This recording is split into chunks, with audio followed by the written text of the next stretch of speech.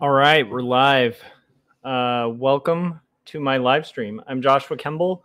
Um, I'm a cartoonist, illustrator, and graphic designer. I've been doing uh, graphic design and illustration for about going on like 20 years now. And when I'm not uh, doing graphic design or illustration professionally, um, what I do right now is like work full time as a art director for my day job. When I'm not doing that, I'm working on graphic novels. Graphic novels like Two Stories, uh, which was my first graphic novel um, that talks really openly about my journey dealing with uh, depression as well as caregiving for somebody with panic disorder. And uh, sort of um, uh, the hypocrisy of uh, like witnessed when growing up at a Christian school. And a lot of like childhood stories like um, dressing as Indiana Jones for an entire year, uh, doing cosplay at a school uh, when cosplay wasn't even a word yet. So that's two stories, and that's available um, on Amazon. Um, and then if you guys uh, saw me at TCAF, that's my son in the background. um, so uh, if you guys were there or saw me at TCAF, um, my graphic novel uh, Jacob's Apartment, which is a story uh, done in the vein of Eternal Sunshine for the Spotless Mind or Ghost World. It's like a uh, a doomed romance story, and I think Ben is talking about his iPad uh, running out of batteries, which is just inexcusable. How could somebody's iPad run out of batteries in the background?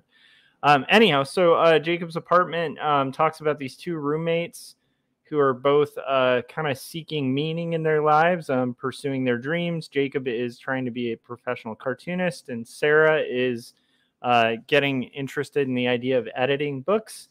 Both have like a shared love of books and are going through crises in their lives. Uh, Jacob ha- has dealt with the recent loss of his father um, to uh, cancer and is sort of questioning his faith and his identity. And then uh, apparently Benji is running around like a silly pants. Um, okay, so uh, and then Sarah um, is also dealing with um, a broken relationship with a previous uh, boyfriend, also her professor, um, and he's moved away, and so she's kind of trying to find her place and uh, trying to fill that void with like a um, a bunch of one night stands both of them are questioning their identity and both find um, their identity and meaning um, with each other. So yeah, so if you guys could hear me over all of that, um, that's basically uh, the two books that I have out. Uh, Jacob's Apartment is available um, right now for pre-order pretty much anywhere um, books are sold. Um, and I just said for pre-order, but it was released on the seventh and also, if you're in Southern California, I'll be doing a signing of uh, Jacob's apartment at Barnes and Noble in at the Palmdale location uh, from like one to five o'clock, and then I'm hoping uh, to kind of have like a meetup afterwards at Bravery Brewing too, with whoever uh, of my friends or or like fans uh, decides to kind of come out and uh, and check out that signing. Um, and also, it'll be like a celebration of the release of a graphic novel that took me about five years to make. So that is Jacob's apartment and two stories, and uh, and that'll basically do it for that. So um, so now we're gonna get into the main content of this channel. Um, what I usually do is during uh, during this stream, I'll often work on stuff uh, work on my comics. And what I'm working on right now is Not Death But Love, uh, the strange supernatural case of Elizabeth Barrett Browning. And uh, in the background, you're going to see a lot of stuff going on because it's still daytime. And I usually do these streams around like 9 p.m.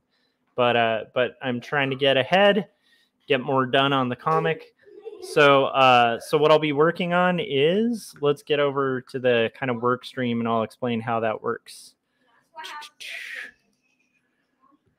So, okay, so right here is the page that I'm going to be coloring. Uh, this is page 19 um, of the graphic novel that I'm working on. And so, what I'll be doing is like working on this um, coloring it, and then uh, just kind of chatting about things that are on my mind, and um, and then of course uh, during the times that I'd be doing roughs or thumbnails, usually there will be a section of the script down there. But obviously, right now we're just going to be coloring this page. That's our goal uh, during this stream. And so, uh, without further ado, let's get into it. So, I don't think I've done a live stream since getting back from uh, Toronto Comics and Arts Festival. And so, uh, I feel a little rusty, honestly, doing a live stream. It's been about a week. Um, and I've been working and carving away at this page and then just sort of recovering from um, just exhaustion, honestly, of like being out of work for a couple days, um, like at, where I work as my day job. Uh, when I got back, there was like tons to catch up on.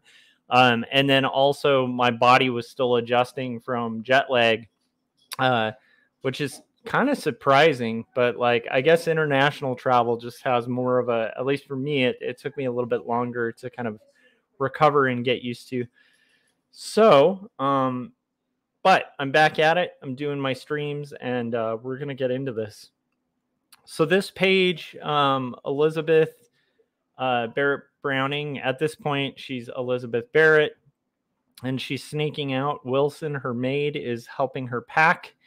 They're sneaking away, and to a carriage that is waiting outside and was a beast to draw. So that's kind of where we're at. And uh, I'm going to basically pull the colors probably from a previous page that showed the exterior.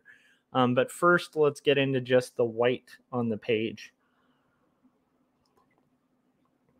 Okay, so the first thing we're going to do, um, and this is a little trick that I remember, remembered to kind of do, which is keep the lines and stuff separate. So this is going to go select uh, inverse. Oh, wait. Select, modify, expand. So I'm doing my selection. I'm expanding it under the line art so that we have that kind of going. And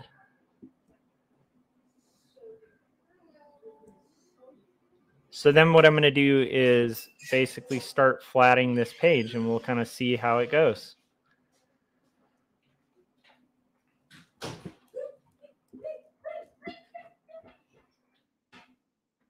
Let it fill.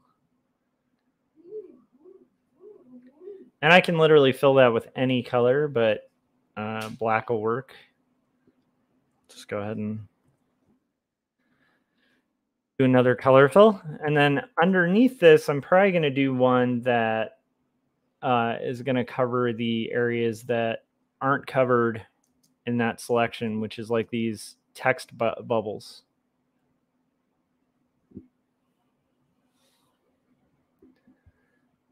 So yeah, it took a while to kind of adjust and get back in the flow of things. Um, and uh, and then I've been carving away at this page. There were a couple revisions I had to do at the beginning of the week um, where I changed Elizabeth's dress because we found out that the dress I had her in in the previous sequence um, wasn't like super period accurate. I, I had done research on it and I had thought it was really good research, and it turned out completely not to be. um, and so we changed uh, Elizabeth's dress. So I don't know if you guys remember uh, the last few pages, but uh, oh, nice. Uh, Dee Dee said, "Welcome back, Joshua Kremble." yeah, so that was one of the funniest things. Um, it kind of became a bit during the uh, during the trip that even my editor kind of made a joke on Twitter about um, from Graphic Mundi, but uh, for my panel, oh, here I was going to show you guys the new dress.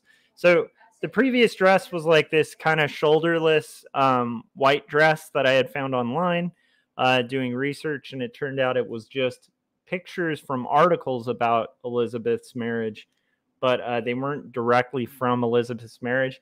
It was of a dress that Elizabeth Barrett wore, but it was likely um, worn uh, when she was much younger. So we kind of modified it for this more kind of like this blue one. Um, and so I had to revise 17 panels to kind of make up for that. So that's kind of basically that and the pencils here. are like uh, the two things that I was kind of working on. But yeah, so what Dee Dee was talking about with Joshua Kremble, though, that's a shout out to uh, a programming error where um, for my panel, they had uh, called me Joshua Kremble, um, K R E M B L E, which I've been joking for a while is going to be like an alternate personality of mine. That's like the dark, evil uh, Joshua Kemble will be called. Either that or it'll be like when I start doing, you know, like strange, like installation art. Um, I think that's when Joshua Kremble will come out and uh, and start making um, awesome, weird installation art that's like my postmodern future, you guys. Um, anyhow, so let's see here. I think we got all of this. The only thing I'd like to do is get. I need to get the color fill underneath. Like, let's see the areas we've got so far. So yeah, so the the only other area I'd like to get is like this space here. Oh, let's get here. Um, let's try the borders. Okay, select, modify, expand. Okay, so we're going to do this and then fill.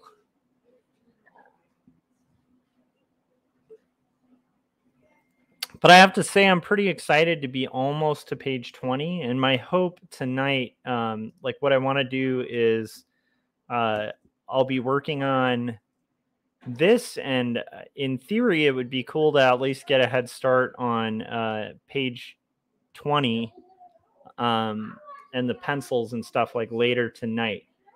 Um, oh, here's uh here's Dee Dee's. I love the uh, icon here for Kremble. Let me show it. Kremble. yes, welcome to Kremble's channel. Anyhow, um, uh, she also said it is looking awesome. I missed a couple of these pages. Yeah, it's like it, it's pretty exciting. Um, and and like I said, the pages look a little different because I had to kind of go through and modify the dress in each uh, page.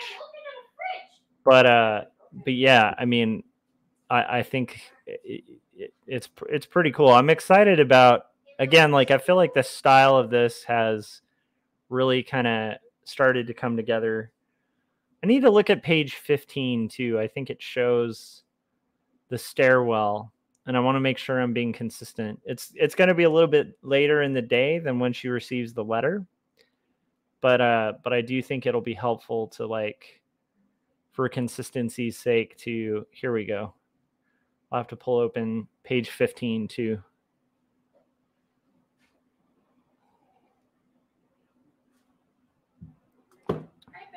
So here's page 15 oh my goodness. I thought it was page 15 there we go Dee said, I bet Benji was glad you were home. Yeah. So, um, Benji and Mai were uh, in Utah, and so we picked them up from the airport um, this Saturday, and it was so that was uh, yesterday. And yeah, um, Ben was utterly stoked to be home. Um, I was really happy to have him back home. Obviously, it's it's nice to have uh, you you miss your kid when you're when you're when they're gone for a little bit. And they were kind of doing like a family visit um, and taking care of some some uh, some sort of crisis situations out there. Um, so it's it, it was really nice to like get them uh, pick them up from the airport and like see you know see my kid because they had been out uh, about a week before uh, I left for TCAF, they were um, visiting family. And so, yeah, so it's been really nice to have them back uh, back in the house. Um, I think yesterday was our first book time that we had done um, in a while. So yeah, it definitely is nice to have Ben back. That's another reason why I haven't uh, live streamed in a while. Either was just trying to do crunch time and get as much done uh, before before they got back um, as possible, and then yesterday, like I just kind of hung with Benjamin for a lot of the day. So but yeah, it's it is really nice. Um, for anybody who's a parent, you guys would understand that. It's like when your kid's eight, it's hard to go like a couple days without your kid, much less like a couple weeks. That's that was a that was an interesting thing.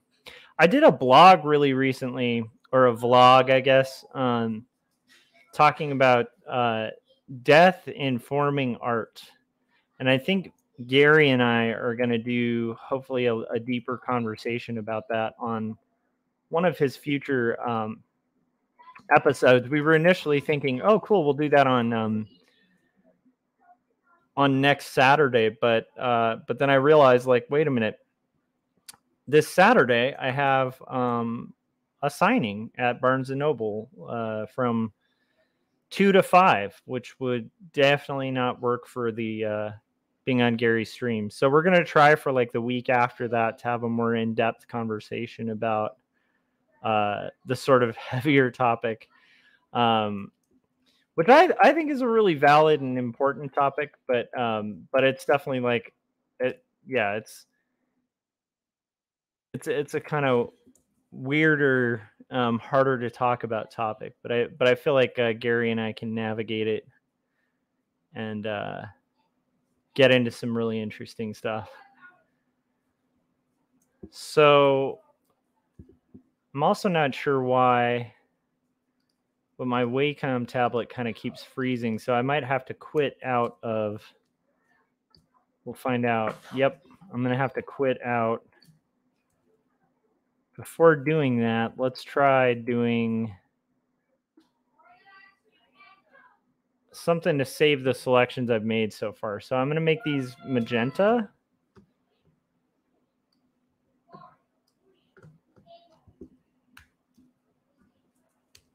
And then we'll quit out. So at least I don't have to re deselect those those spots. Okay, so I'm going to quit out. Oh wait, maybe I don't need to suddenly my Wacom tablet appears to be working. So maybe that'll, maybe it was just a matter of saving. We'll see. If it continues to lag, you guys can let me know. One of the hard things about working digitally is uh, every once in a while you have, you know, digital stuff comes up. I think that's the official term for it is digital stuff but occasionally there's little delays, which is why it's so important when you're um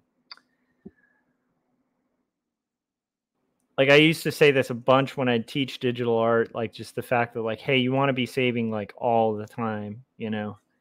Um and you can warn like a young artist like only so many times, but all it takes to really learn that lesson is like you don't save for a while and then like you lose like half your work that you've been working on for eight hours or something um yeah so anyhow if you guys are out there and you're going to start working digitally uh save often there's a dog in the background who's freaking out Dee said, I only use uh, Procreate. You and Corey rock the Photoshop. Yeah, I still haven't messed with Procreate yet. I keep hearing really good things about it, and um, I'm gonna have to mess with it at some point. You know. I think Corey's a fan of Procreate as well. I think I might be the last holdout. Um, I, I definitely feel like uh, I feel like once I try it, I might have to just switch over entirely.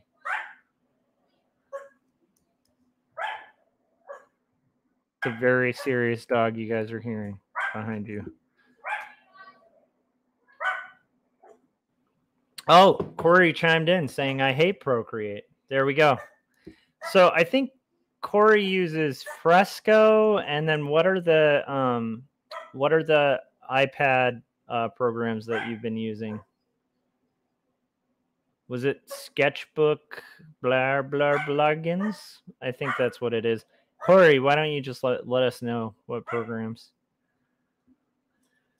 I have the problem of uh, when it comes to like iPad programs, my brain becomes like a very old man using Quark Express for book layout kind of mentality.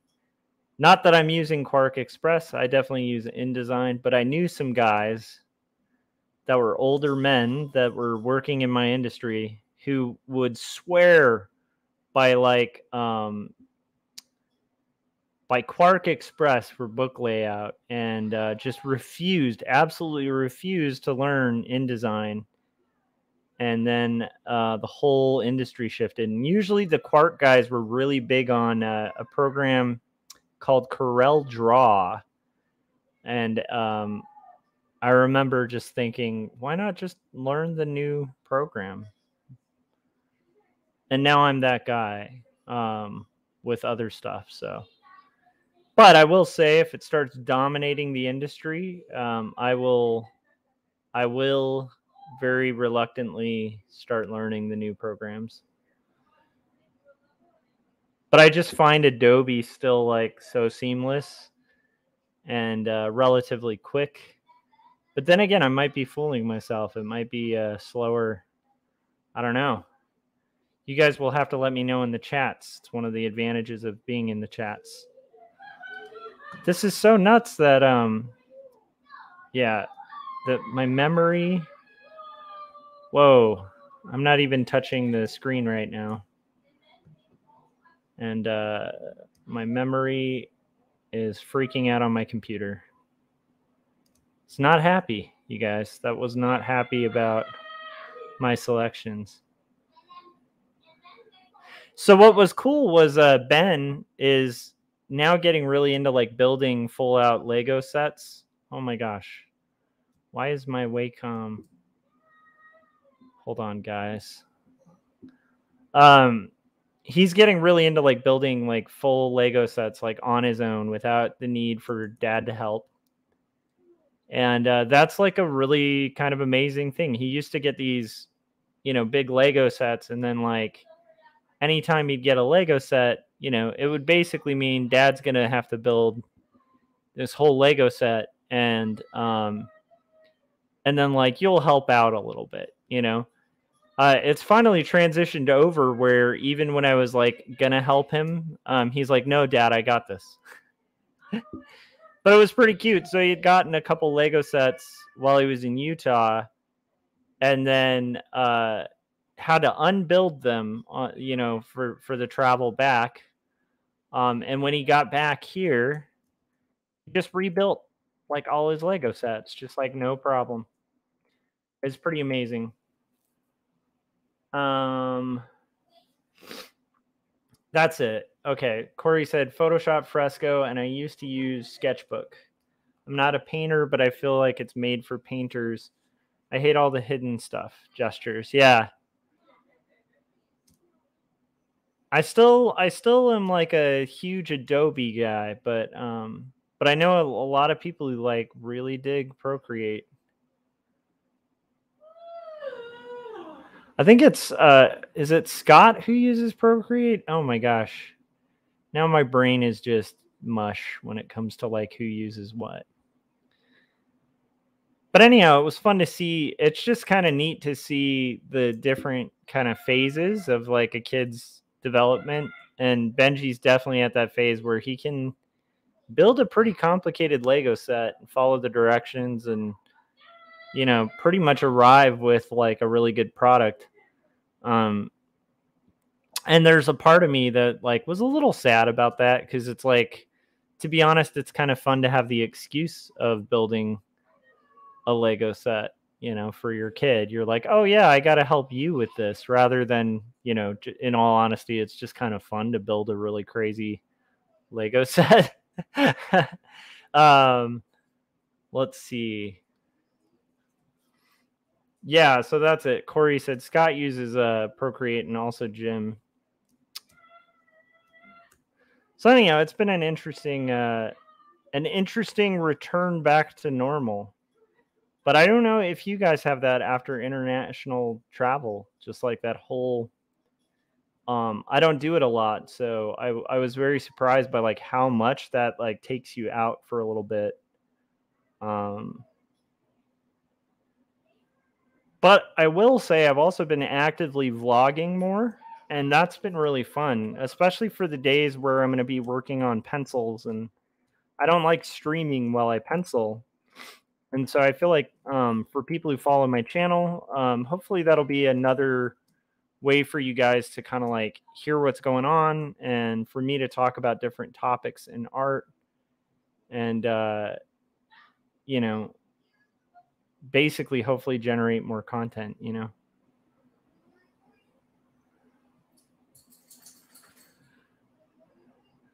Corey, how is your stuff coming along? I saw a um, animation, like a a rooster. It it looked like you had illustrated.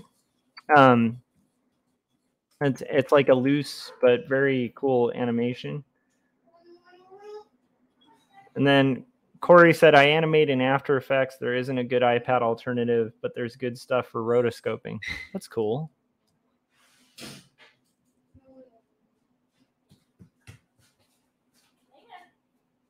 Uh, Dee said, Some Legos are like building actual spaceships and buildings. Yeah, for sure.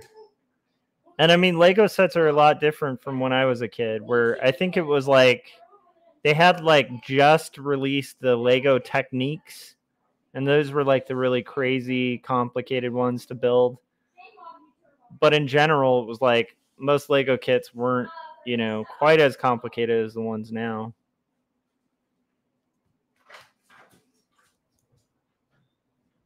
but yeah you're right. There's definitely like there were a couple that i wonder if he'd be able to build on his own. There um there is uh now i'm blanking out on the show name.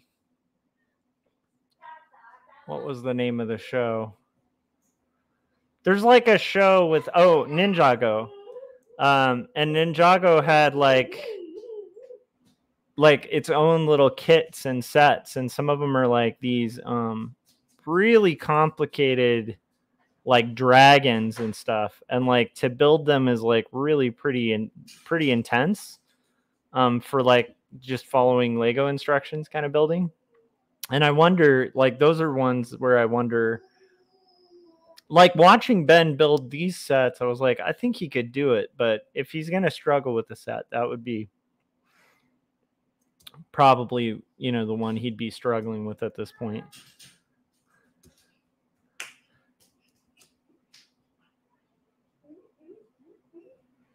So I think this is correct. I hope I'm not doing the wrong deselection here. Because I think this is the maid skirt. This is a bit of a um kind of humorous panel here too.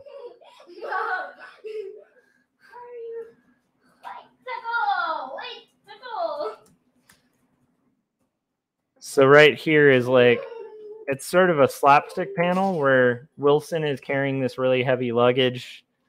They're sneaking out downstairs.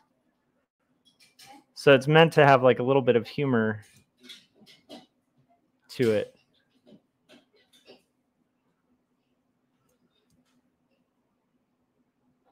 That's it, the laser rooster, because it like opens its mouth and shoots a laser.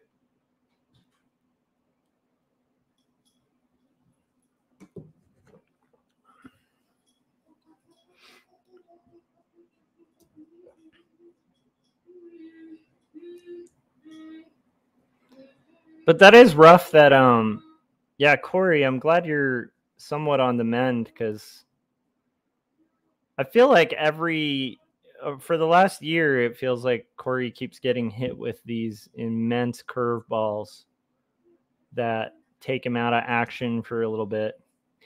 And the amazing thing, as a testament to just like Corey's strength of character, is he'll still be super productive and and still get like a ton of work done. And I frankly am like baffled by how he's able to to kind of manage.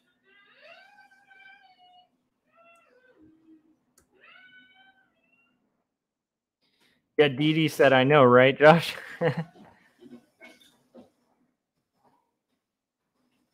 All right, so now we're going to do the maids. I think I'm to do the maids. Um, let's see, are we to see her eyes? Do we see her eyeballs at all? Oh, we do. Oh my goodness. Almost forgot to deselect this.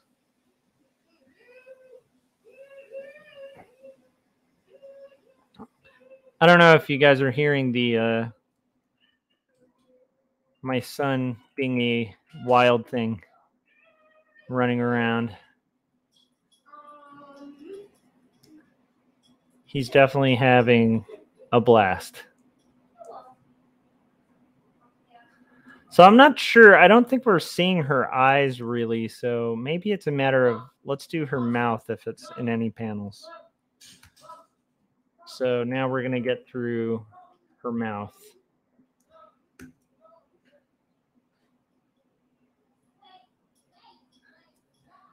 Dee said he sounds happy. Leave him alone. Oh, 100% gonna leave him alone. He's he's goofing around.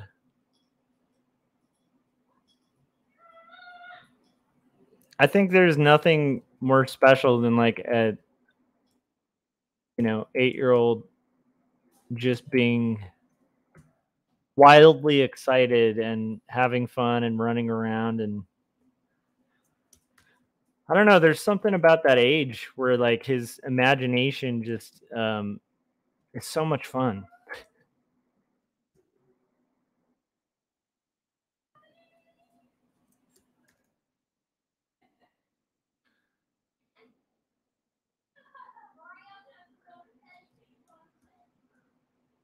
Okay, we're gonna do the eyeball color because I think we can see the eyeball color. So I want to make sure I get to that.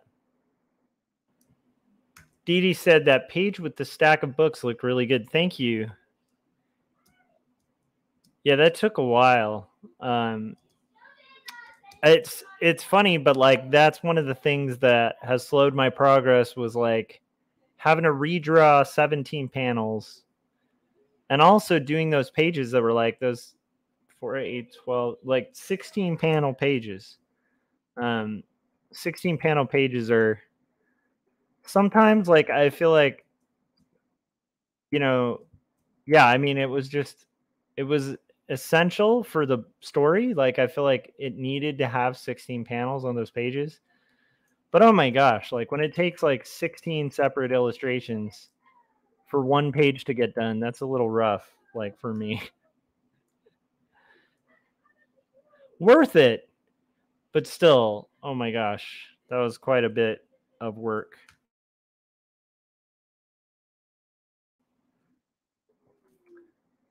I'm gonna do her hair actually at this point. Okay, let's do some hair.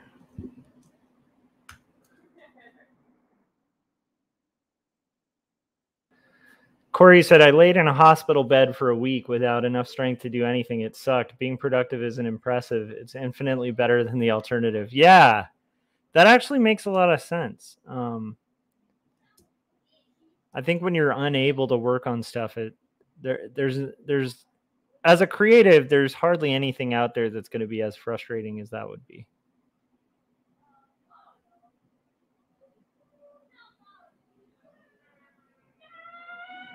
and then it, you know i think corey and i are cut from a little bit of the same cloth as creatives we've talked about this too where it's like we've always found it strange when there are people who are out there who are creatives who don't like feel this just immense drive to be working on stuff all the time it's kind of a weird thing about i think our personalities so we're doing her hair now not sure how I didn't get Elizabeth's eyes and teeth back there. That's crazy. I have to go back and do that too.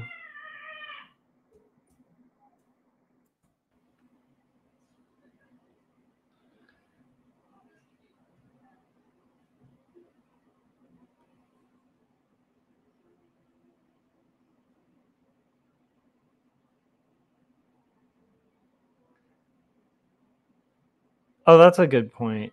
Dee was saying that's where like videos are really nice when like when you can't be super actively creative, but you can at least kind of listen to somebody being creative. Um, yeah, I would definitely agree with that.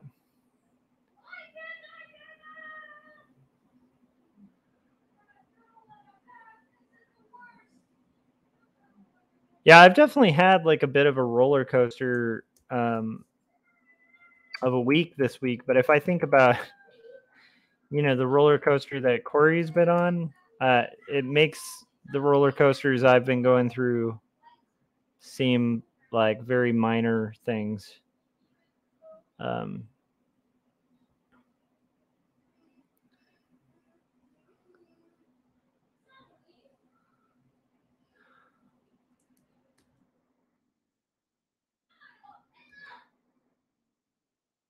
Okay, I think I got all the panels with her hair in them. I want to go back to the white again because I missed her eyes and teeth here. And Elizabeth kind of needs to have eyes and teeth. That's a good thing to have.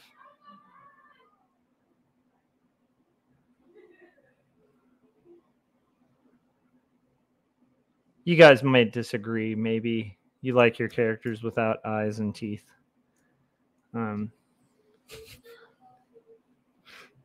but for me, I think it's like a it's a good benefit to a character.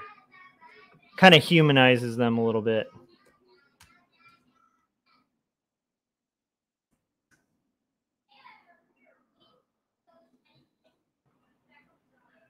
Dee Dee said, if I can't sleep and wake up in the middle of the night, some of you late nighters are on. Yeah. I've actually been finding that really fun with live streams. Um, when I watch live streams myself, it's usually if I'm like, if I'm working on something that I don't like want to stream while I'm doing it, um, particularly like penciling, I just, I'm not going to be in the mood or zone to like be able to be interacting with people or like really be on point. Um, but when it, you know, sometimes when I'm in doing that kind of work, it's really fun for me to like tune into somebody else's stream. Um, I've definitely had that happen during the day with Gary's streams as well. So you'll notice that my wife, her ringtone is Magnum PI's theme song. Just thought I'd mention that.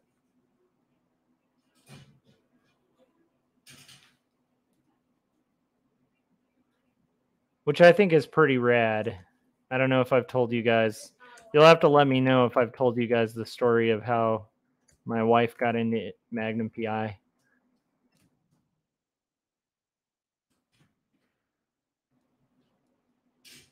And not like the remake. I, I've heard they like somehow rebooted the show. We're not talking about that. We're talking classic 1980s Tom Selleck Magnum PI. That Magnum PI.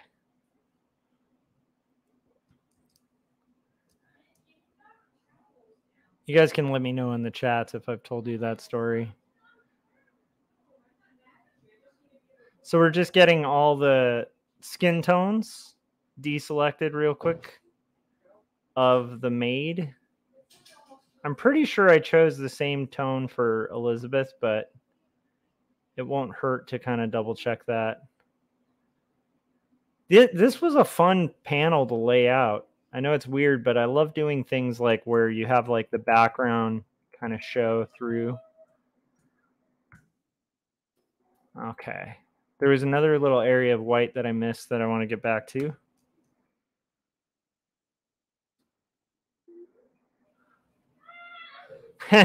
Corey said little orphan Annie style with no eyes. And then Dee Dee said, ew, Corey. um, and then she said, we were actually in Hawaii when he was making the series. When when Magnum PI was being filmed? That's amazing. Like the the original. That is rad, Dee. Are you in the background in any like old school Magnum PI episodes that we should know of? Is this like the the untold truth about Dee Dee's past? Is that she was like an extra in like every Tom Selleck Magnum PI episode? If that were true, um, Dee Dee, you would be the coolest person in the world.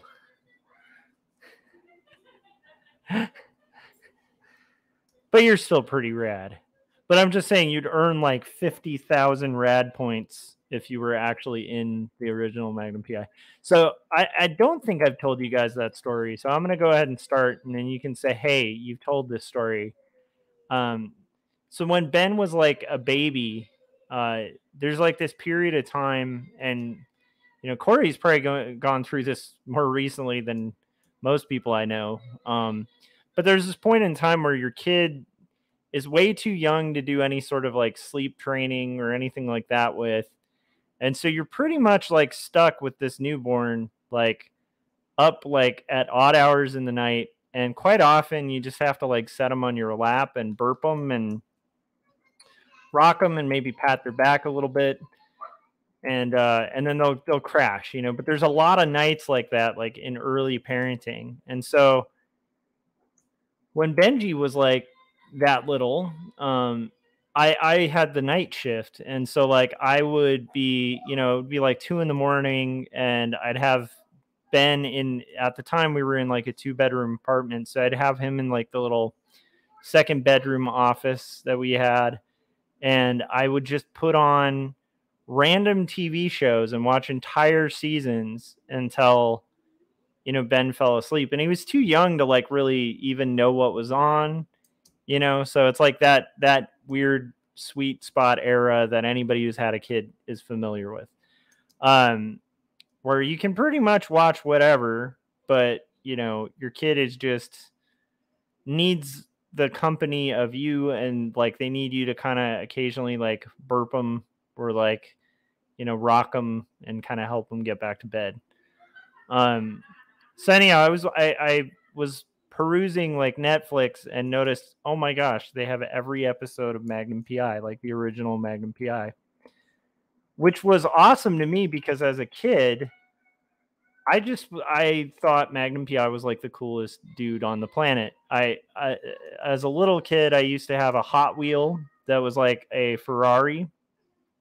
Um, and it was it, you know I specifically picked out that Ferrari because it looked like Magnum PI's Ferrari and uh, I just I loved that show. And rewatching it, I was like, well, of course I love that show. It was like running around, driving fast cars, and like shooting guns at each other. And a lot of the logic of that show is very much like kid logic, like the way kids would be like, okay, now there's this thing, and it's it's like a bunch of action movie logic that's very childlike. Um, so I rewatched all of them, and then I remember one night Mai came in and was like, "What have you been watching?" And I kind of explained to her Magnum PI, and and um, she was like, "What's Magnum PI?" And I was like, "What's Magnum PI?" so I kind of told her that story that I just told you, and then I had her watch like one or two episodes, and then before you know it, my wife became more obsessed with Magnum PI than me. And um, she is like probably the biggest Magnum PI fan now of like I think anyone in the world. Like she absolutely loves that show. So that is how my wife got into Magnum PI. Um, and I think that's pretty incredible and cool.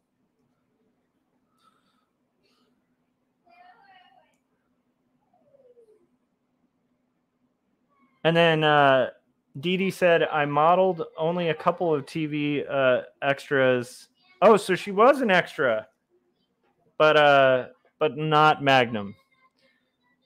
Um, and then Dee Dee said, His shorts make me crazy. Did men ever really wear those short shorts? Seems more dangerous than his job. I think I don't know. I mean, I might be crazy, but I kind of think like um I think that's like part of why my wife might secretly like that show is Magnum Shorts. Um, because from what my wife has said, I think she thinks Tom Selleck is very handsome or was very handsome. which I can't really blame her because, like I said, as a kid, I was I thought he was the bee's knees, you know. All right, so let's see here.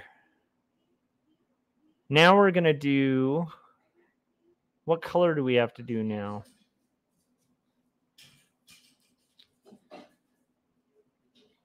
Okay, we're gonna do Elizabeth. Elizabeth. Okay, we'll start with her eyeballs. Or we could little orphan Annie it. Who knows?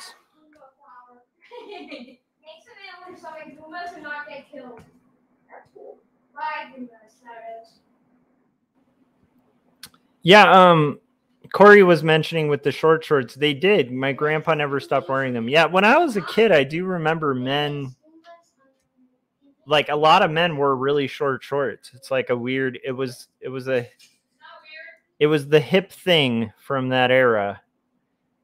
It was like I think that around the time that women were wearing jeans that like cut off like right up like right up here. right where my like Wu-Tang symbol like stops like that that the top of it. That's where women in a specific period of the 80s used to have their um jeans uh, stop, like the waist would be up there. Um, around that era, men had, I think, a lot of men wore short shorts. It was just sort of the thing.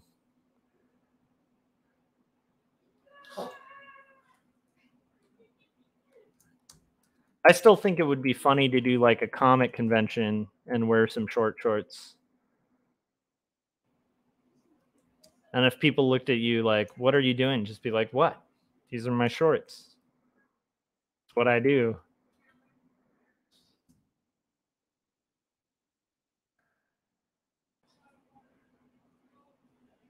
So, um, what would be funny is if I did that and then suddenly my sales were just like incredible.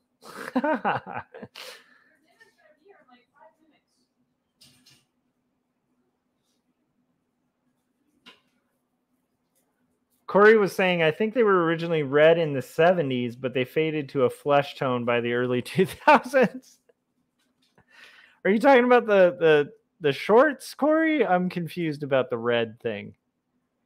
Because I do remember as uh, so as a kid, I think I had a pair of like 80s short shorts. They were actually red and they had little racing stripes on the side. I think like almost every little boy in the 80s had those pants. Like they were like they had like a little V on the side. Do you know what I'm talking about? And then there's like three red lines or not red lines, like white stripes that were on the side of the the shorts. Am I crazy? Do you guys remember those?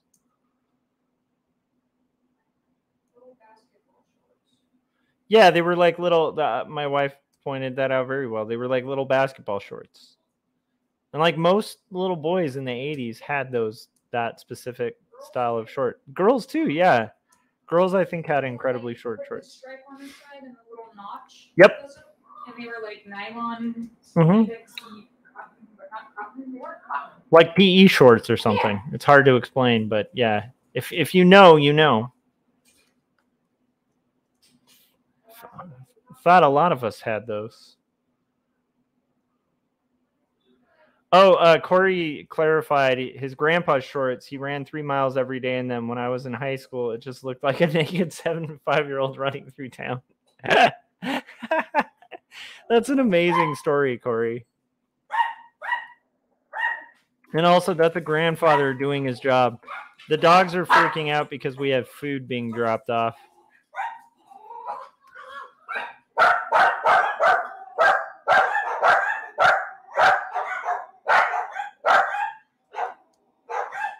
So bear with me, guys.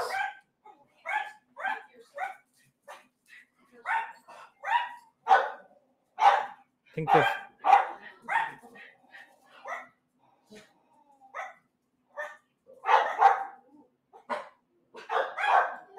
I know it's very thrilling to hear a bunch of dogs barking.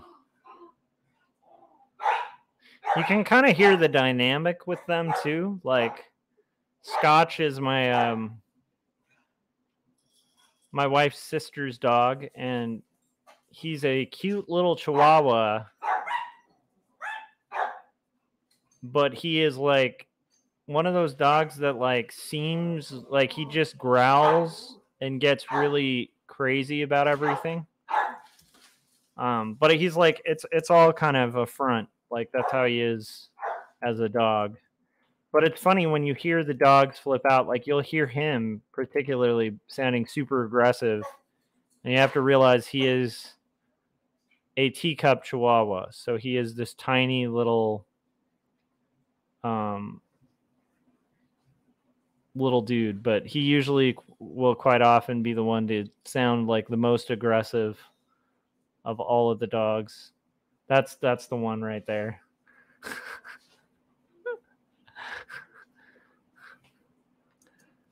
And he's like a real softy like at the end of the day but he's just like i think you know for some reason i think people just bred those dogs like way too small. So he's just constantly in fear um he's like some neighbors i have that drive like giant trucks and then you look at them and they're like a foot tall and you're like oh okay.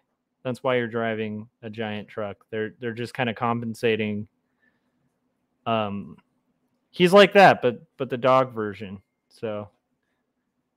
If he were a person he would be you know wearing like wraparound ray bans probably have an immense gun collection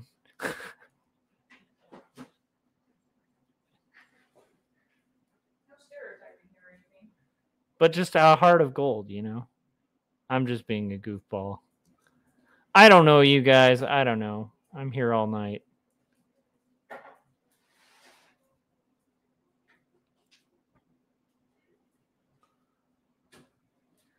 But anyhow, Scotch is cute. He's a funny dog.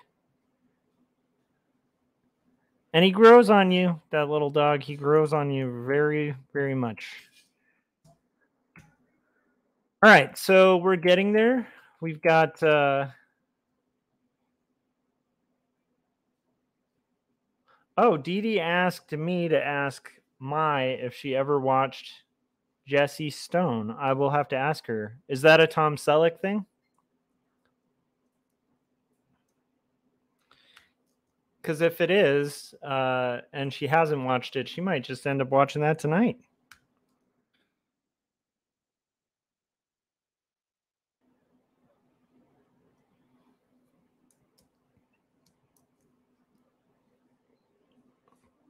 So now we're doing the skin tone.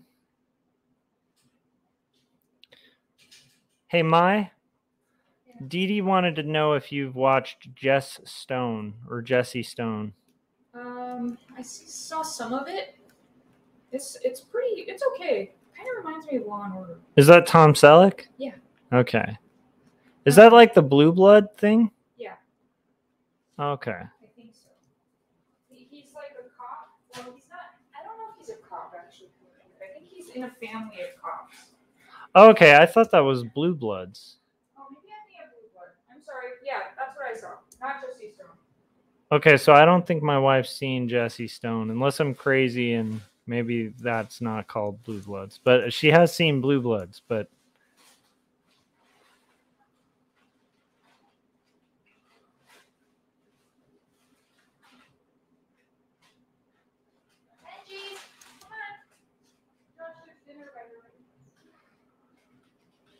Oh, uh, Dee Dee said it's a, it was a series of uh, made for TV movies. He's a small town cop. So we'll have to check that out. I kind of like the way you're describing that, Dee, because it almost sounds like a, um, you know, the lyrics to like Shaft or something where it's like Jesse Stone, he's a small, ta you know, it's got like a song or something that talks about him being a Small town cop. It's a stretch. I know.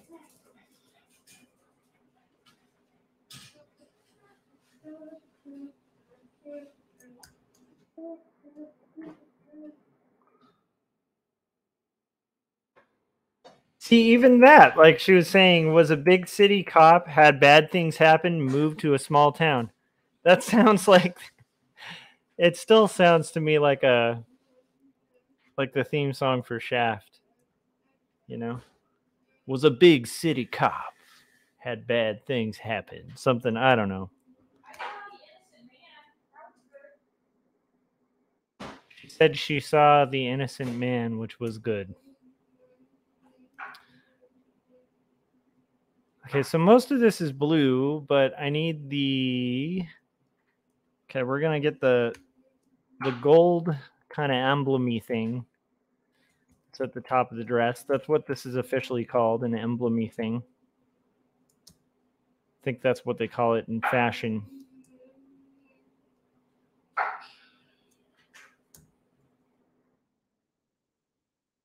Okay. Now we're going to get a little more detail. All right.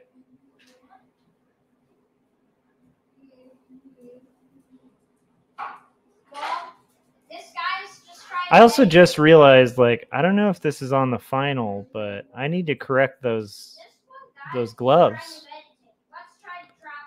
That's not right.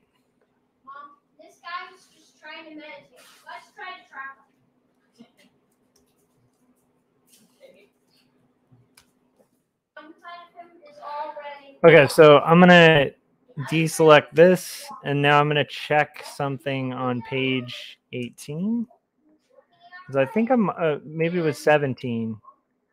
I'm to have to look at that and see if that was on the old version. Yes, I found a missing color fill. How dare I? You guys see this? yes. He's looking at the left side. And This lack of lack of professionalism here.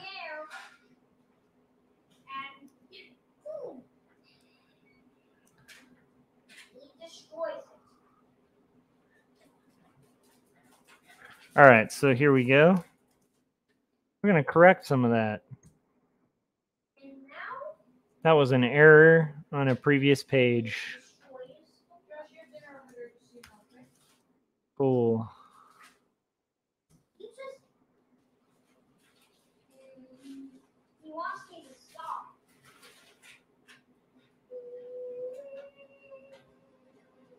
So now we can actually correct that.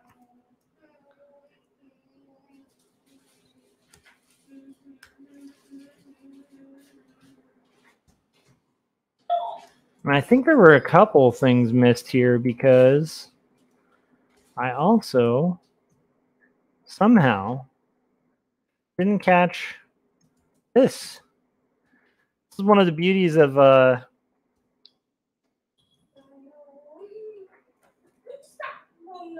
pulling color from previous pages. You can actually catch uh, previous page errors.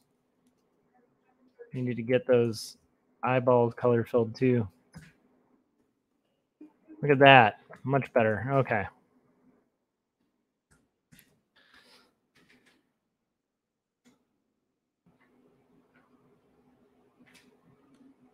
Whew. Dee said those books look amazing. The highlights and the shadows. Thank you. Yeah, and that was like that's a part of the book where hopefully it'll give people a hint of like what Elizabeth had accomplished. And they're mostly designed based on kind of an amalgamation of all of of the editions that were out um, by Elizabeth at that time. Okay.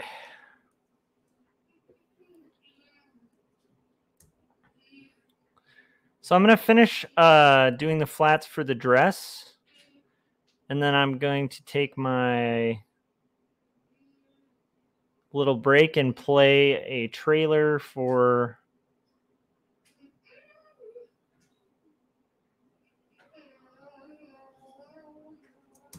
let's see what should I I'll play a trailer for Jacob's apartment. And if you guys are in the Southern California area, um and you want to get a copy of Jacob's apartment, possibly signed or with a drawing within it by me, I will be doing a signing at Barnes and Noble from 1 to 5 o'clock p.m. at Palmdale, Barnes and Noble on Saturday. This coming Saturday. So that should be pretty fun.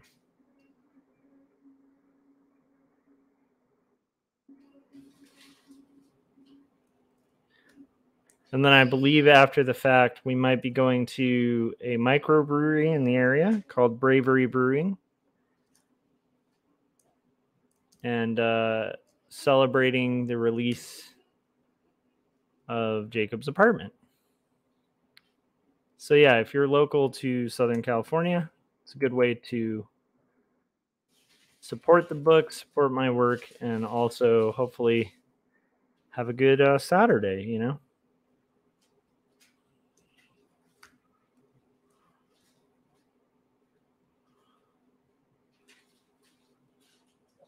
Dee Dee said, I forgot to check Barnes and Noble when I was there last weekend to see if they had it because I already have it. Awesome.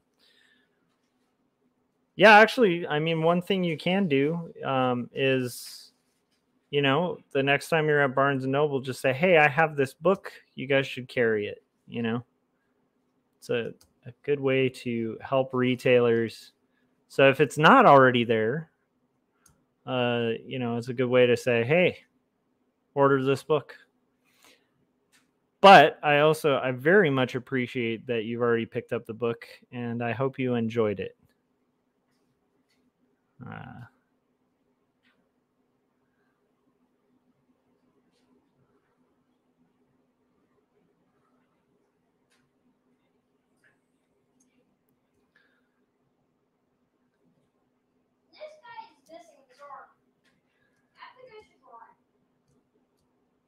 we have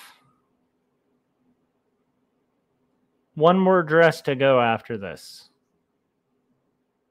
And then the Jacobs apartment trailer, which awaits you all.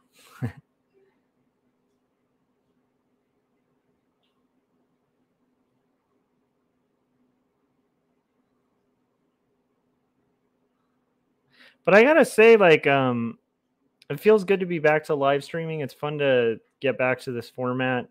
I am enjoying doing the vlogs too, um, and I'm going to try to kind of keep up with those more often.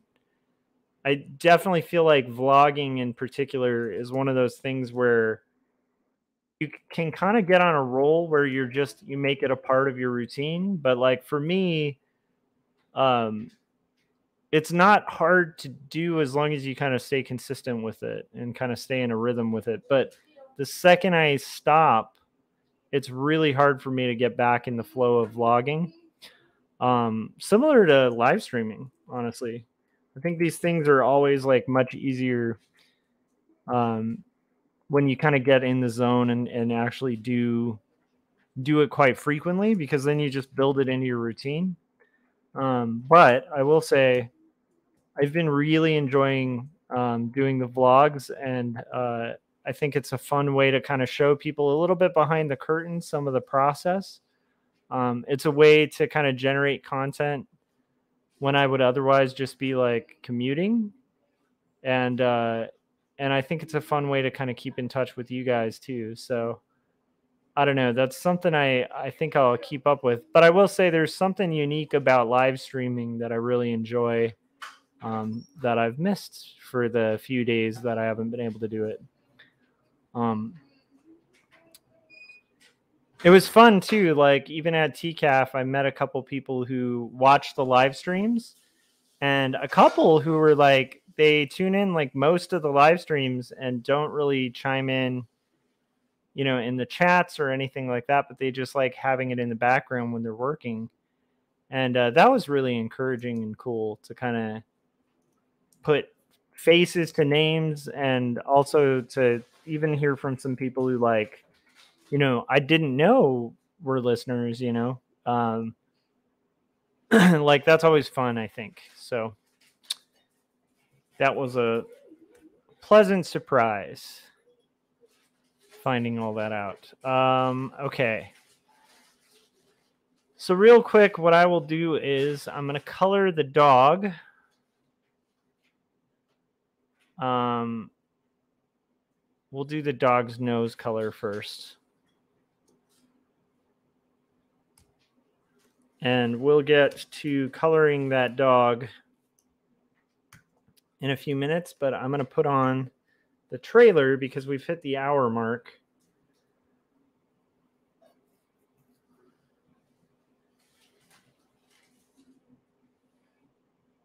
Oh, Dee Dee said, I have Gary's two books, read the first one, um, very on edge. Yeah, they're they're so good.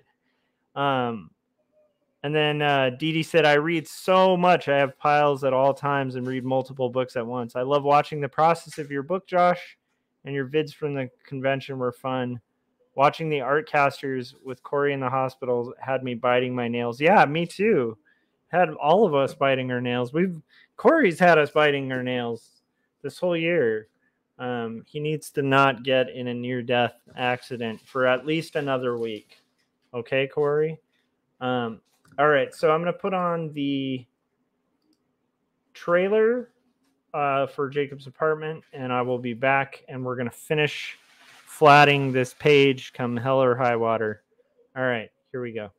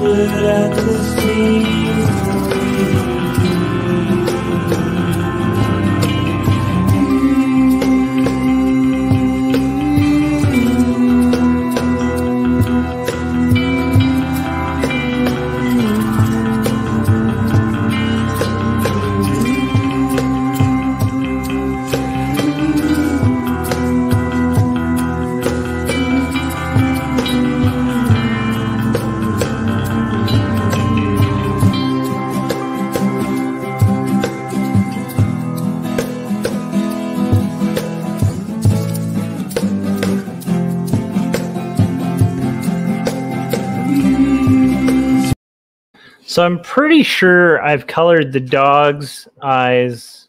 Let's see what I colored them. Oh, I need to actually save that one page too. I think it was page 15. We need to save that because that's much better. No, it wasn't page 15. It was page page 18. Got it. Good. Okay, we're going to just save this. Wait, no, this wasn't it. What was the page with the books that we were so interested in? Ah, here we go. That is the page. Okay. I'm just going to save that because we did fix that page.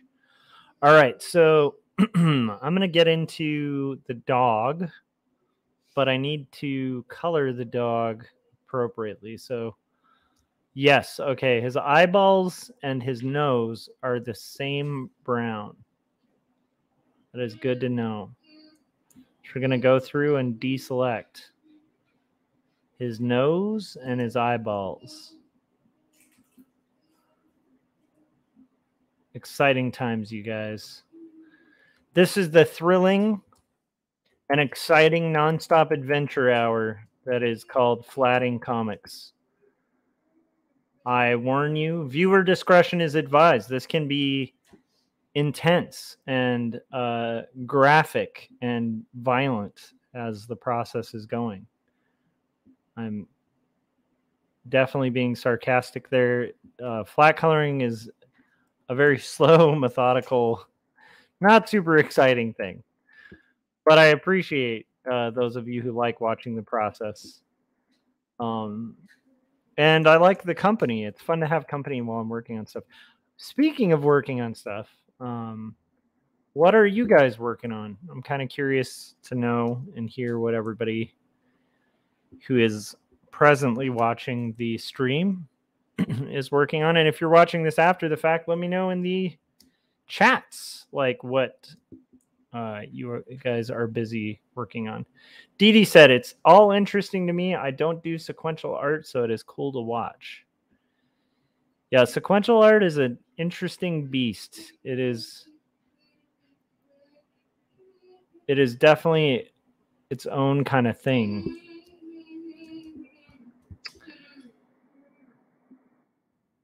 And it's funny too because um, I, I think I've told you guys like my wife has had just like an incredible year when it comes to like different projects coming up and different possibilities coming up. Um, and uh, she went through with me like the the stuff that she has on her plate right now for kids books. And it's exciting but it's like it's insane. I i don't know how she's keeping up with the workflow. Um i don't i i, I don't know. I i feel like it's just been one of those years where like we're just being provided with a lot of opportunities and and somehow managing to kind of get through sort of intense workloads you know um now, this dog's collar has not been on in any of the previous panels, and so I can actually color it whatever color works. I think the emblem will be the same gold as the emblem on Elizabeth's dress because a good rule of thumb with color is is like especially when you're working with limited colors like this um where it's mostly going to be flat color. And uh, a lot of this is like mimicking i'm forgetting the term and uh, i feel like i feel like gary kind of nailed it whatever that term is um, for this old form of uh, coloring um, where you would have sort of like a stat cammed um, or like an etching and then it would be like toned. Um, that's sort of the look that i'm trying to go for for this since it takes place in victorian england. But when you're doing this it's like uh, what i do try to do to kind of make the colors not feel like rainbows just threw up everywhere um, when you have access to all the colors in the rainbow that can happen is like to limit my palettes. And if i bring in a color and i can repeat it somewhere else i'm going to do that. Um, so things like that gold like i probably want to carry it throughout the page. Um, in more than just one spot so it doesn't feel out of place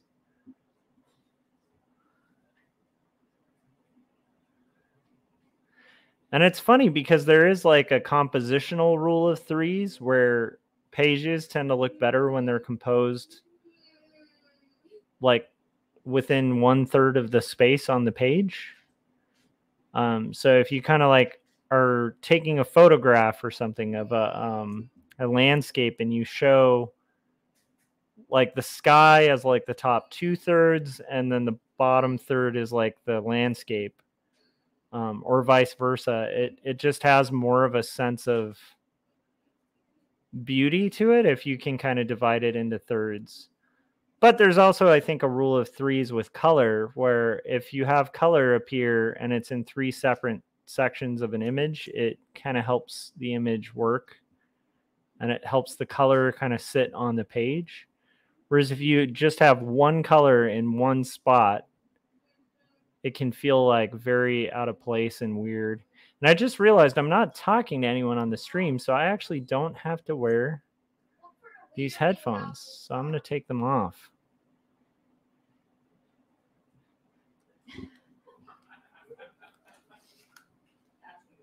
Cool. Those headphones are gone.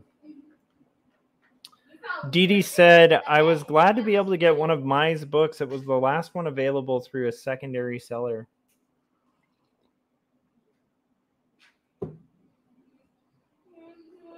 Oh, Dee Dee also said, I am um, doing a portrait commission and a 24 by 30 collage. And I posted a Barbie doll in my garden this morning. Interesting.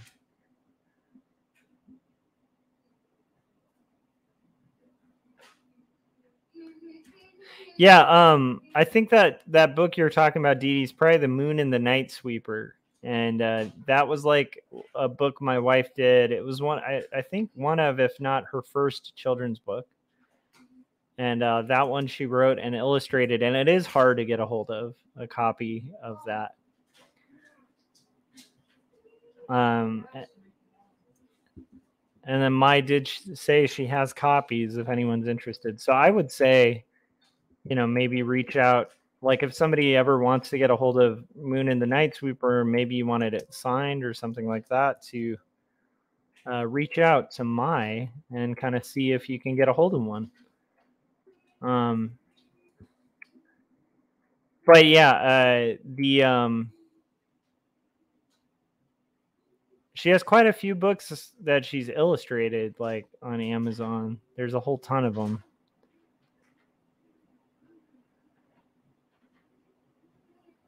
And I'm at, I think we're pretty excited because it sounds like she might be doing another book. Um, she did my what's the name of the elf book?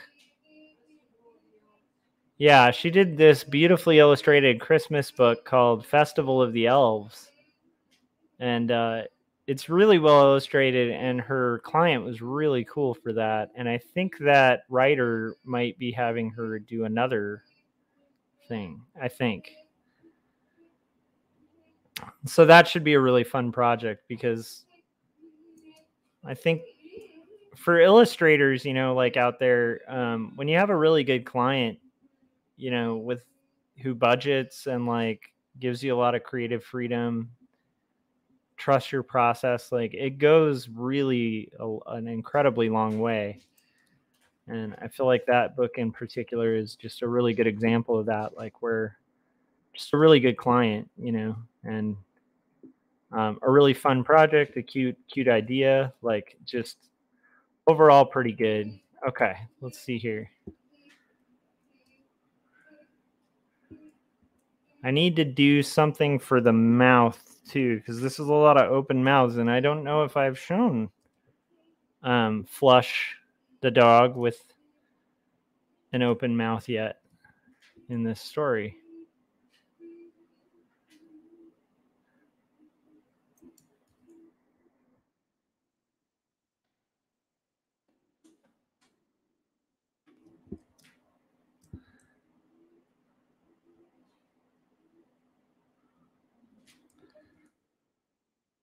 I'm trying to think for the leash too, like what color will we make the leash?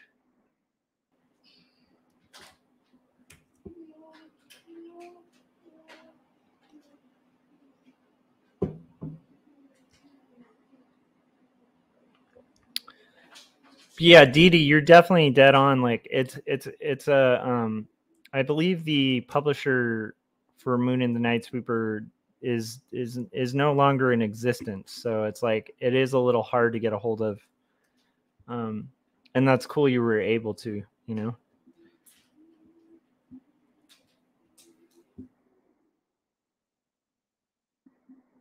Cuz it's a cool book. It's it is a really cute book.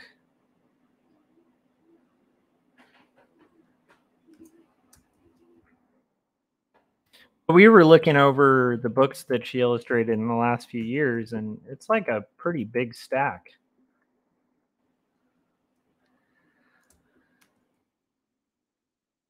so we're going to do the mouth real quick but i think you're right Dee Dee. it's it's probably going to be a leather leash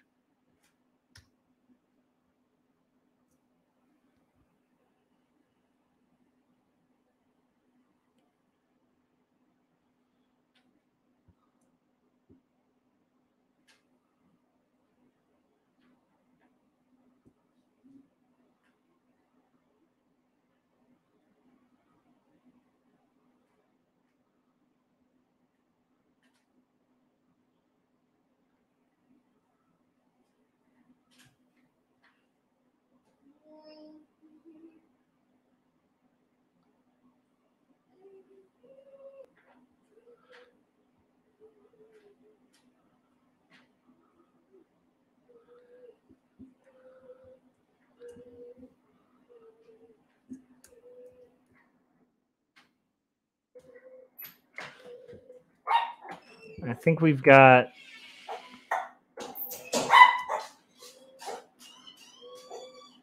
the dog's mouth there. And then we need to save because it's been a while since I've saved. And I did that whole rant about saving. Did they have a lot of dyed leather then? I don't think they did. I mean, I think it, it- you know, they definitely had more dyed, you know, materials. But I do think you're probably right. That's probably a safe bet.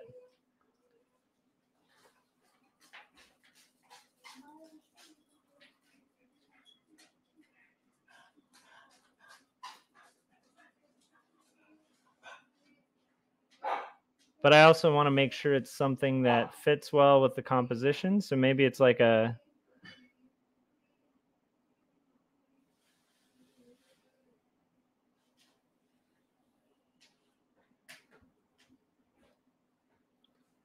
cancel that. Let's see.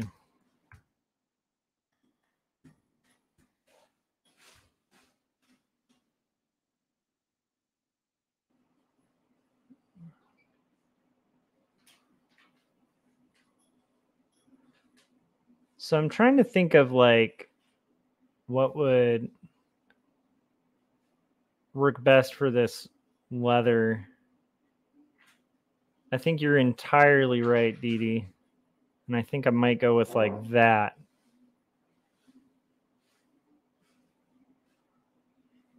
But I also don't want it to be too in competition with. There we go. That'll work.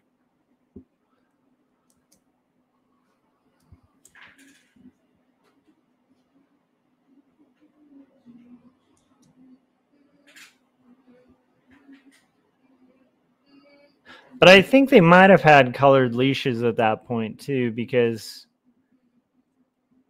you know it's the 1800s, so it's like they definitely had very colorful fabrics and stuff like that. But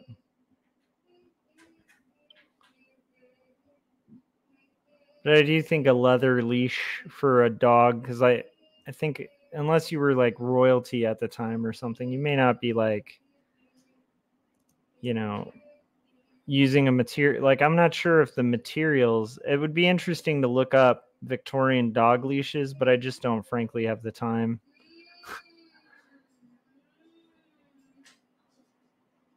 So this one will just make the safe bet of leather because i think you're right on that.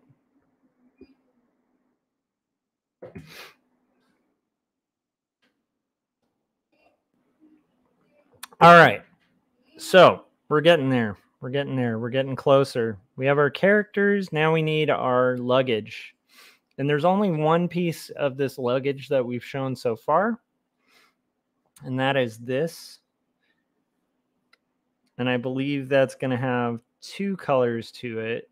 I think there's a better shot of it on page 18, maybe. Yes. Okay. Page 18 is showing the color of that. And I believe we're going to show it on here, but I think it's the top of the stack. So this is going to have, that's going to be the coloring of the edges and the latches on the top bag. The other bags can be colored whatever the heck we want to color them.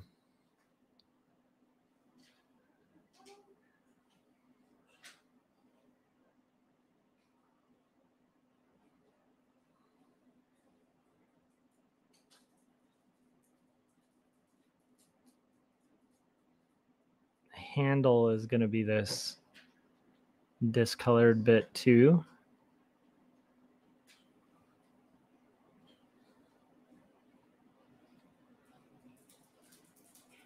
Nice. Dee Dee said I looked it up and they're a reddish brown, so maybe we're correct. I wonder if I should make that a little more red.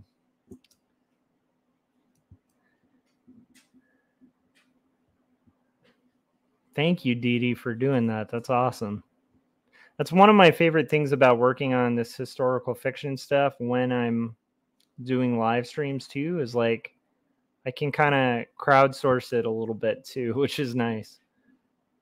So that often can be really cool. So far, I feel like the research has done me pretty well, except for that specific dress. Like that was the one scenario so far where I've been pretty off on like what she was probably historically wearing. Although, again, like she did own that dress that I had drawn her in, so that's cool. Um, because I did end up finding a picture very recently that was of Elizabeth Barrett Browning in that white dress, but it was just like when she was much younger. Um, so it wasn't a bad call for us to change it to this kind of more more Elizabeth Barrett when she's like at the stage where she's meeting Robert. And at this point she's I think in her like 30s and Robert is in his 20s from what I recall. And uh there's almost like a 10 year difference. So she's definitely kind of cradle Robin a little bit when it comes to pursuing Robert. Real Robin would if he was 16.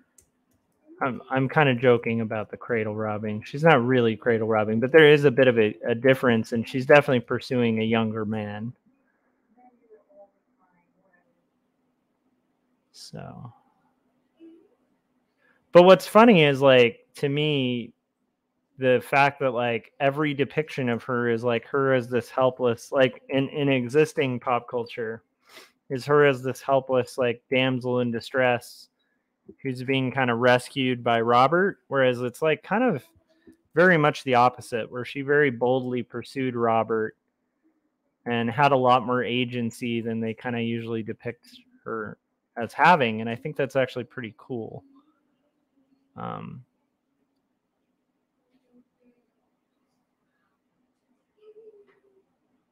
but she definitely wasn't like some helpless damsel she was definitely like you know had her issues with like laudanum and all sorts of stuff like that so some of that's accurate you know she had a very overbearing father.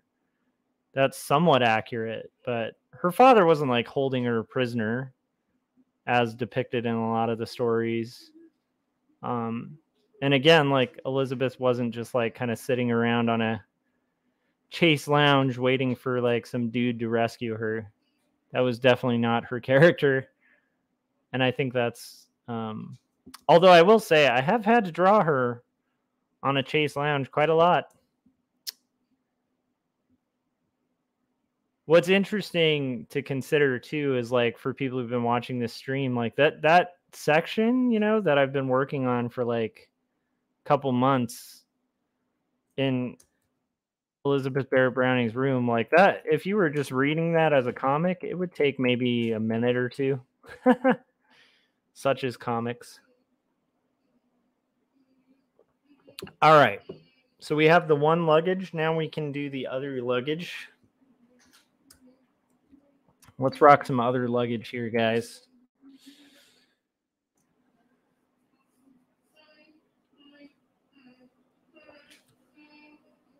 Did they have metal clasps of suitcases asking for a friend? It seems like Sherlock had leather stra- uh, straps that closed them.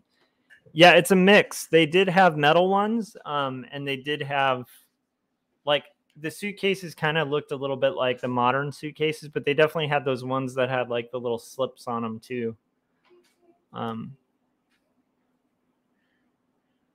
but yes, yes, there were metal suitcases.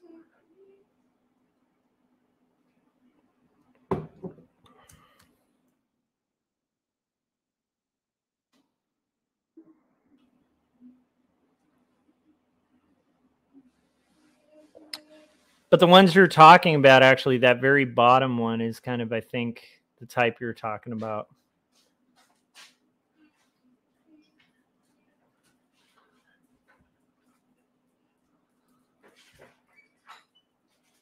Um, let's see.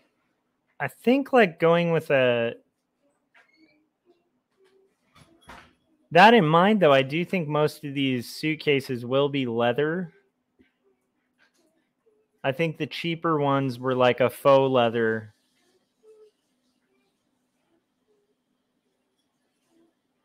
But I mean, you know, Elizabeth is not like some.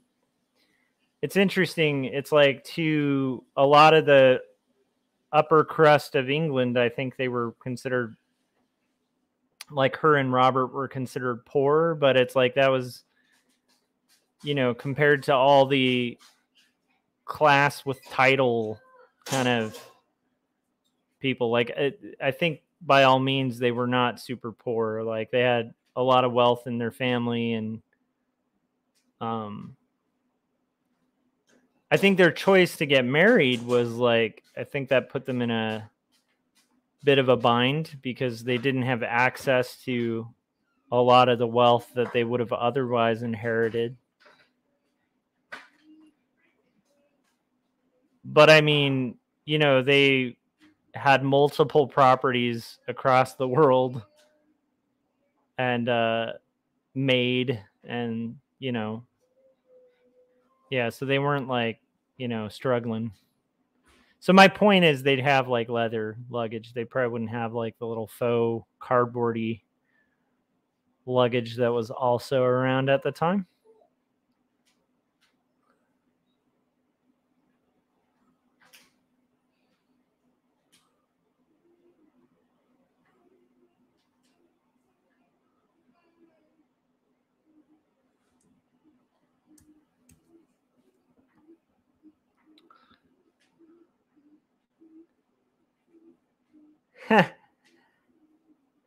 Dee Dee was saying, just don't want anyone calling you out on it. You might have to go all cremble. That's true. I feel like I need to have an alternate YouTube channel that's just cremble. And uh, that's the YouTube channel where I get into like massive controversies online. Do like crazy YouTube takedown videos of famous public figures and stuff. That's the Kremble persona there. That's what's going to have to happen.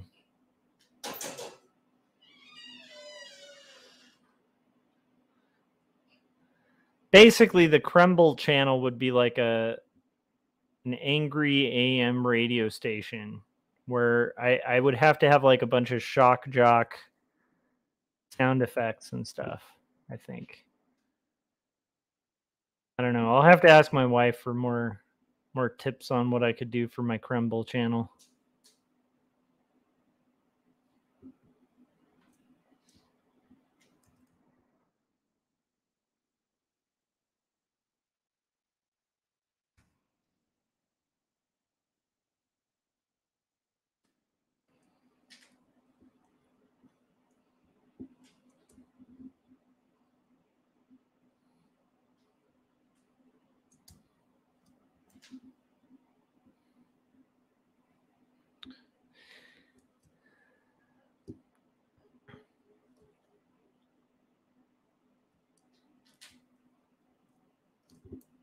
See here. We're getting there, you guys. We are getting there.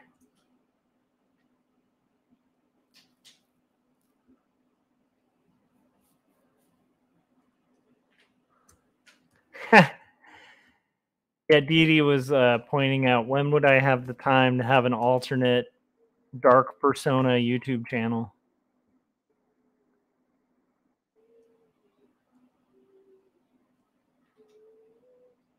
That is a fairly good question there, Dee Dee.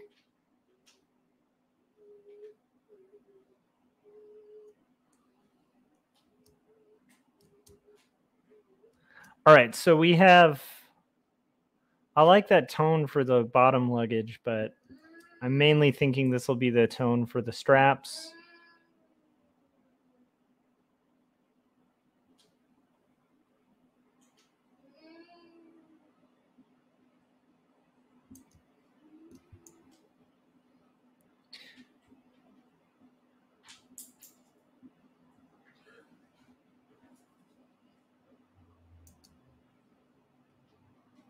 And the handle.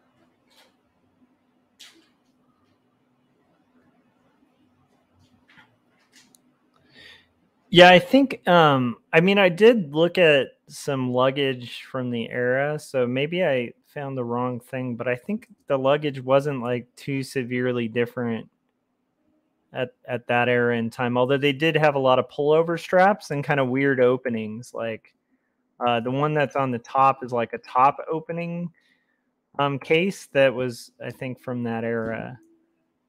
But that's definitely one of those things that wasn't as different as a lot of things because I think at the time they did have a lot of metal metal manufacturing.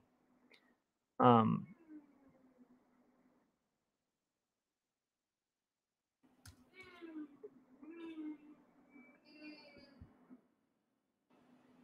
so it's kind of weird. Like the things that were different in the Victorian era are like very strange. Like you have a lot of things that were similar, but then like you know, electricity wasn't as common everywhere. Um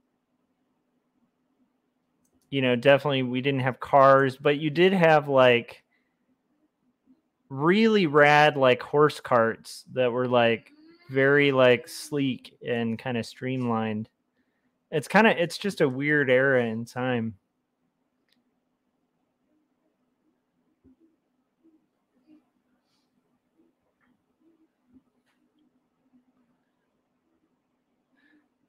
But uh travel by train, I believe was was a thing at this point. So you have a lot of like a lot of luggage. Um I mean obviously they're not going to have like the hard plastic travel luggage, but it definitely like I don't think it changed too much between Victorian era and like the 40s, honestly, like the 30s and 40s.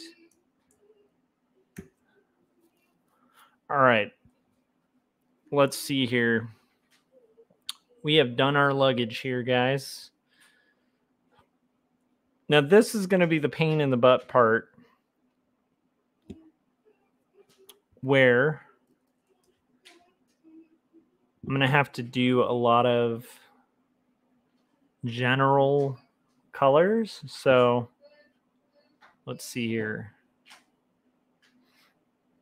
So here is the tone of the banister. So let's do that first. And I think I need a refill of coffee.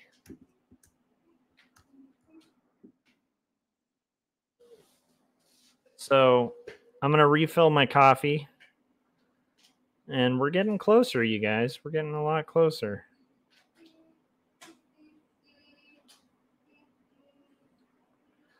Paul said, I had a girlfriend in high school. Her name was Daphne, but she went by Dee Dee. Interesting. Paul, are you going to be finding out that Dee Dee, did you used to date a guy named Paul in high school? Let's get to the bottom of this. I'll be right back. Um, I'm going to put on the trailer for two stories and uh, I'm going to refill my coffee to keep keep up steam. But we are getting closer, you guys. We're getting much much closer. And then Paul said, uh, "Looks fantastic, Josh. Thank you, thank you, Paul." All right, um, let's find. Okay, here is the trailer for two stories. The Christmas trailer. Enjoy.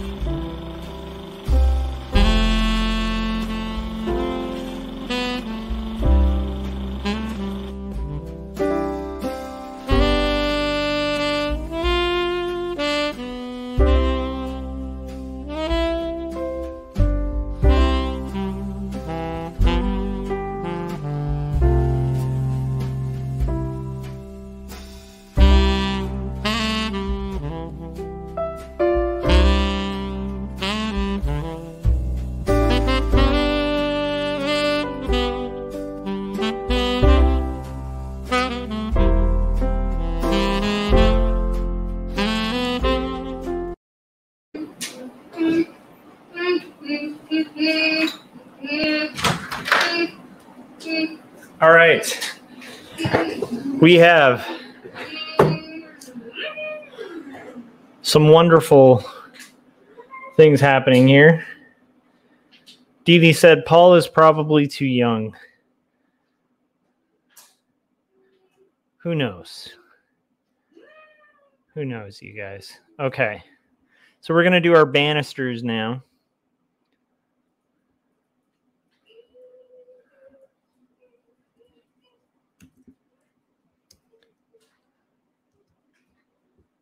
And slowly but surely, this page shall get finished, and then I shall eat some dinner. That's my goal here. Do you guys do that with art? Like for me, I tend to make incentives. It'll even be something like that where it's like, hey, I get to take a break when I reach this point. I get to eat dinner when I reach this point. I do this a lot, um, and it actually helps quite a bit.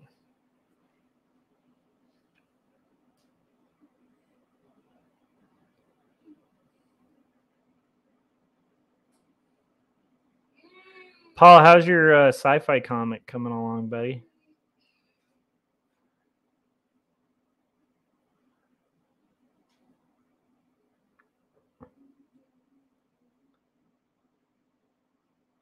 I still have yet to read Paul's second book, and I actually have to read a graphic novel tonight that I promised my editor I would read. But I think once I'm done with that, I'm going to read um, Paul's second book because I just have really enjoyed. Um, I've really enjoyed it. The Detective Perez series is a lot of fun. Is that it for the Detective Perez books too, Paul, or is there like a third that's on its way? I'm I'm curious about that. Such a fun premise, you know. And I like that it kind of starts out as like a hard-boiled detective story and then it just brings in all this vampire lore um kind of in a very surprising fun way it's a it's a fun series of books i recommend it I encourage you guys to check it out but yeah i'm like eager to read the uh the next the second one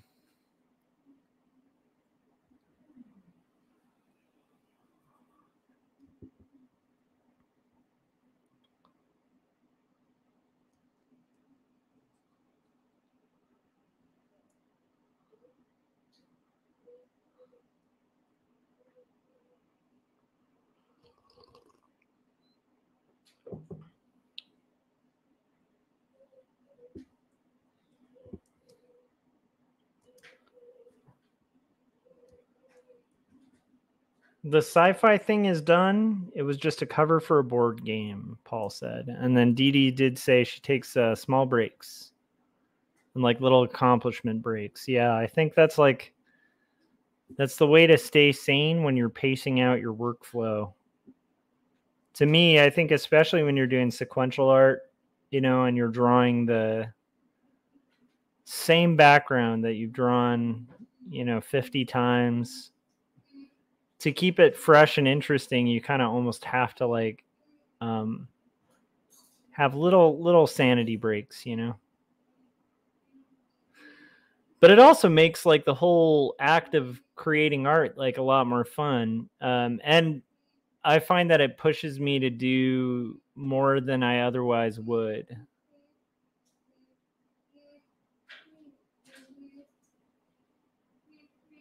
But I do know artists tend to work in one of two ways like in a very like disciplined show up do the work when you have time get the thing done kind of way or in like fits and starts.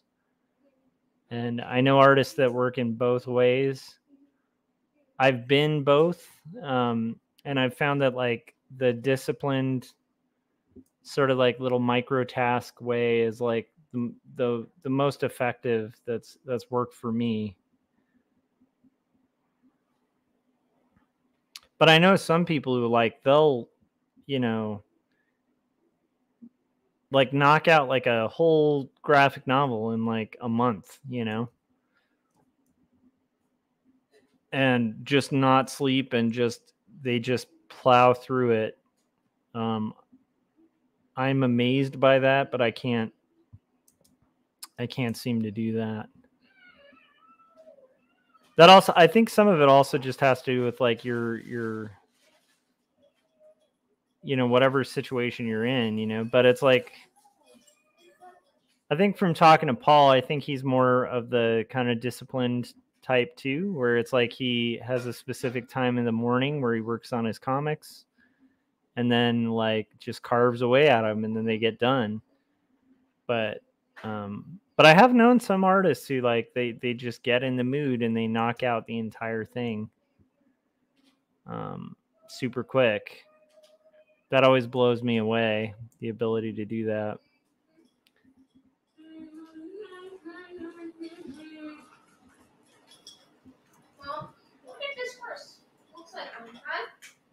Dee said, "I'm rarely in a deadline anymore either." Josh, yeah, I I envy that a little bit. I mean, I I do like the deadline. Like I like the deadline um scenario, but it's funny whenever you're on deadline, you definitely miss those times where you're not. You know. But deadlines are like a, a mixed bag, you know. It's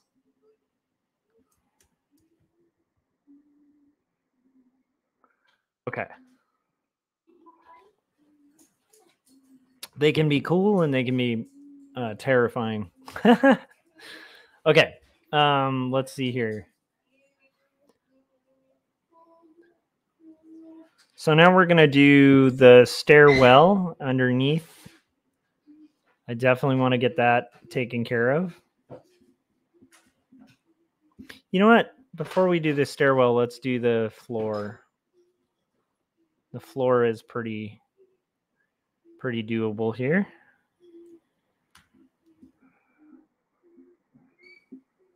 I think there's only one panel that's showing this sort of deeper floor.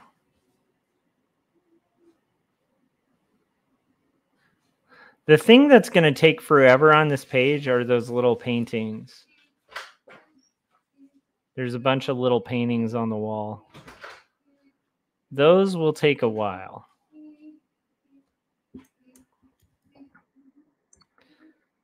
The uh, exterior of the building might take a while too. We'll we'll find out. But I'm guessing the beast on here is going to be those those paintings in the background.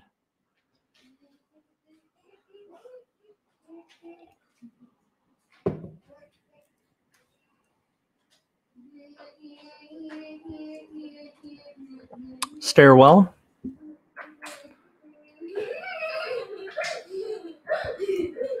My son is giggling and he's playing some kind of game. Not quite sure what he's playing, but he is definitely giggling.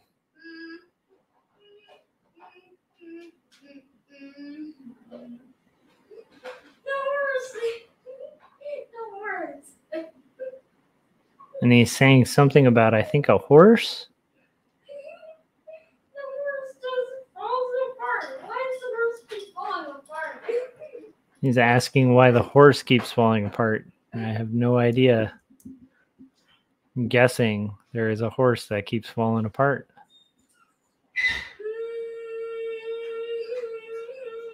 All right, so we got some. Uh, oh my goodness, I, I have to reselect that. We're doing our staircase here.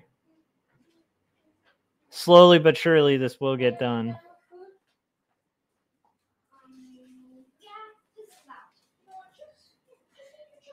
He said something about a horse that keeps falling apart. Not sure what horse he was talking about. Oh, he's making a horse with his magnets. That makes perfect sense.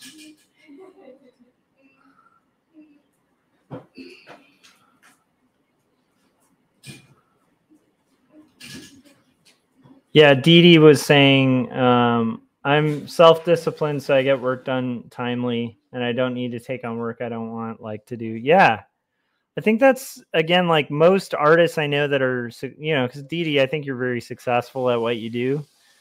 And it's like, I think that um, most artists I meet that are very successful at what they do tend to be very self disciplined. And, uh,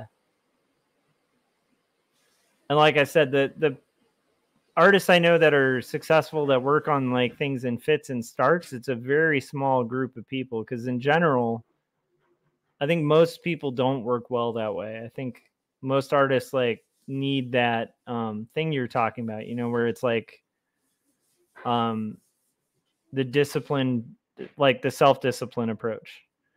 I think that's pretty much most most artists I think have to do that. I I definitely am not one of the artists that can work in fits and starts. I think when I was younger and like first starting out, that was more possibly my thought on it, you know, where I thought like, oh, that's how art goes, you know, and then I had to kind of learn the hard way that like art is just like everything else, you know, where it's it's a lot of work and just like any job or or work of any kind, you kind of have to just do the work. Like there's rarely like some kind of big trick behind it or waiting for inspiration kind of thing behind it. Um, so I definitely, I would definitely think that would probably be true for you for for sure, Dee Dee. Um. All right, so did I do the? Is the ceiling showing in this at all? Okay, so it doesn't look like the ceiling is showing, but the uh, the walls are definitely all this kind of like yellowy gold. So that could translate to the ceiling too. I'm guessing. Maybe we did show the ceiling. Hold on. We did show the ceiling. Okay, the ceiling is the same color. So that makes this real simple. Um, we just need to deselect all of these. Paul said, I've been taking on long commissions lately and just blowing the deadlines terribly. I'm done with commissions and deadlines. I'll do small one picture commissions, but no more big stuff yet. I, you know, I mean, I do commercial art on a deadline. Um, and then most stuff, I, I just don't tend to take work now that I don't like outside of like my day job, you know? My day job provides me with enough like kind of commercial art drawing stuff I don't want to draw. And I'm okay with that. Like, you know, that provides for like a decent living and, you know, covers like my base needs. But yeah, I, I've similar to I think you guys gotten to a point um, in my career where I don't really. I used to seek out a lot of like illustration work and client work, and now it's more like I have that base level covered, and so like beyond just my base needs, I'd rather make these kind of weird artsy comics that you know, three people read. um, although I honestly like, I have a good feeling about this book. Um, this book I'm working on, I think, is going to be. I think it's going to do really well. Um, it's a really strong script. Uh, my sister is a very strong writer, and uh, and it's just kind of cool. I don't remember where I started this selection path that is a problem. Oh, there we go. Let's see if this works. Hey, look at that. That did work. Yay. Thought I had lost my selection there. I was like, no, I'm going to have to start over. Okay. Yeah, I think um I think if you can manage to do that and just like make art that you want to make, um that's great. That's kind of the ideal situation. I definitely look forward to sometime in the future, you know, being in a position where I can just do these comics. Um, as much I, I really enjoy art directing though, so but I'm sure there will come a time, you know, in my future where I might just be kind of done with that sort of thing. Um, for now, you know, I'm pretty content with like anything that'll sort of provide a scenario where I can have time to work on the art I want to work on. And I've said this a million times on my channel, but it's like my theory on art is if you are able to make a living doing creative work of any kind, you are cheating the system and succeeding at something that is close to impossible to do. So, congratulations.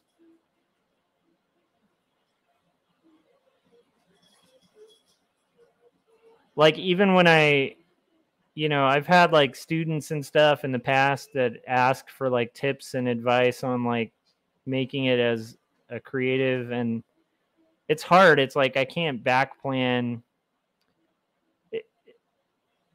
I think the tough part of it, and you know, Paul and Dee, you guys can probably attest to this. It's like if you give somebody your path there and they followed it to a T, it's not like it would magically work that way for them. I don't know if that makes sense. It's not it, it like the tough part about creative is it's not like getting like a nursing certificate or you know like um or even like a law degree or something where it's like there's a kind of preset path you get your degree and then you do this thing and you apply for this institution and it's like way less um rote the way that it's all laid out in creative and so it's really hard to tell anyone like what's going to work for them because like if they tried to follow my path like, I don't know if that would magically lead them to being an art director or to having published work or anything like that. Because my path's a lot different.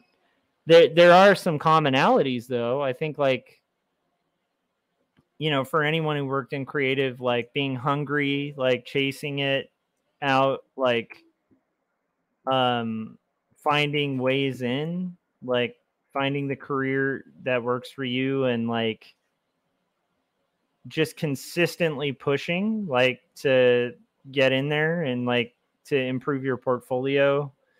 There's like common through lines that i think anyone working in creative could be like yeah yeah yeah that definitely is is part of you know i think most people's like success stories or whatever but it's like it, it is a tough thing like and i don't envy people who are starting although i do kind of because I think part of the fun of a creative career too is like that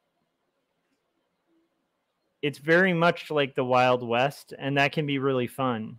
Um, so it it's sort of weird. It's got like a downside because it's not as like written down and clear and um, is what I'm saying making any sense? I hope it's making sense. It's just I don't think it's like as easy it's not like a step by step process, but I think for creatives that's also kind of cool. Like um and creative. Like you almost have to be creative in like your approach to like finding work.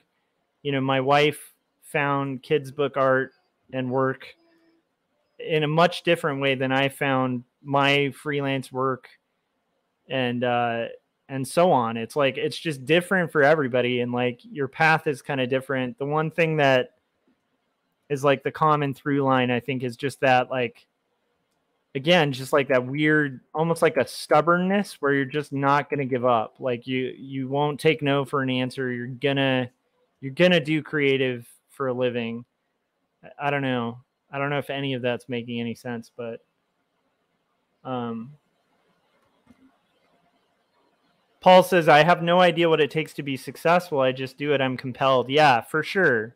There's that too where it's like um and honestly there's also just the reality like for me um i also just like i you know and i know we all reach this point in life but even if i wanted to do something else i couldn't. Like i just i this is what i do you know? It's just kind of what I do. And so I definitely relate to that, Paul, for sure. Where it's like, like, like it or not, like this is just something I do, and like I'm lucky if I can do it, you know, for for money, you know, because even if there were no money involved, I think I'd be doing the same thing. That's you know, that's the weird part. So there's that too, and I think maybe that's a common thread with with creatives too. Um, my Wacom's not reading again. Maybe it'll. Okay, there it goes. Okay, it seems to be back. I've just realized I have a very temperamental uh, Wacom tablet.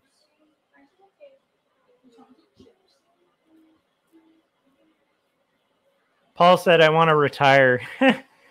I I look forward to at some point retiring if that's possible. I don't know if I'll ever be in a scenario where that'll be possible. The funny thing is, like with um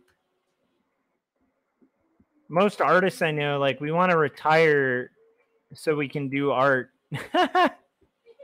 like it's one of the weirdest careers because even people in creative, like I don't know if you ever fully want to like I, don't meet a lot of creatives who are just like, I want to retire from like making books. Like it's usually the opposite where they're like, I want to retire from making other people's books so I can make my own books. Like it's uh, which again I think makes like what what we do pretty cool and special, you know? Cuz again like how many people have that where they're like I want to quit my job so I can do my job. You know, it's a it's a very strange I don't know. Frank's in the chats. How's it going, Frank? He said, speaking of hungry, I had a bacon wrapped hot dog. Delicious. That's uh, called an LA dog. And uh, thank you. Or I should say, you're welcome uh, because I live in Los Angeles County and we invented that hot dog. So, uh, yeah. Is that a bold statement? Because I think it's a true statement. I believe the Los Angeles, the official hot dog of Los Angeles is a bacon wrapped street dog.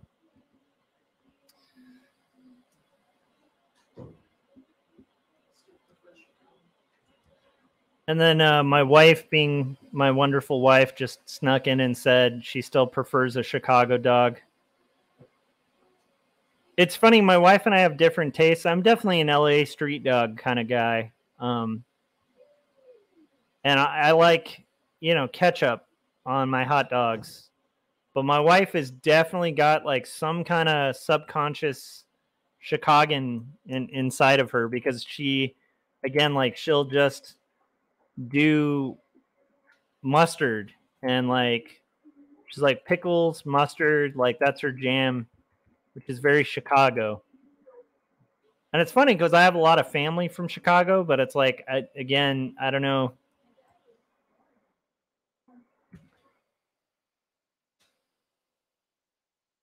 like both my wife and I's dads were born in uh, Illinois. Actually, no, uh, her dad was born in Illinois. My dad was born in Indiana.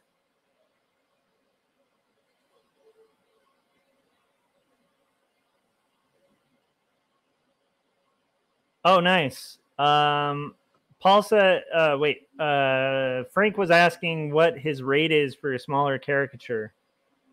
And 25 he said and 50 for more detail. That's a good rate man. Paul said some days i feel like it's a curse. Most days i'm very grateful. Yeah i've definitely had those days. I remember uh, there was a period of time where i was unemployed when ben was first born and I, I guess i wasn't unemployed like i was adjuncting i was teaching art classes and stuff but here I was with like a master's degree and like I couldn't get a job for like a month and a half. And I went on like uh I, and I know everybody's had these moments, but it's like I went on these job interviews where I remember like every other interview it was like either I was overqualified or underqualified. And uh it's just frustrating because I was like, well, I just need a job, you know? And I think at the time it was because I was looking for like anything.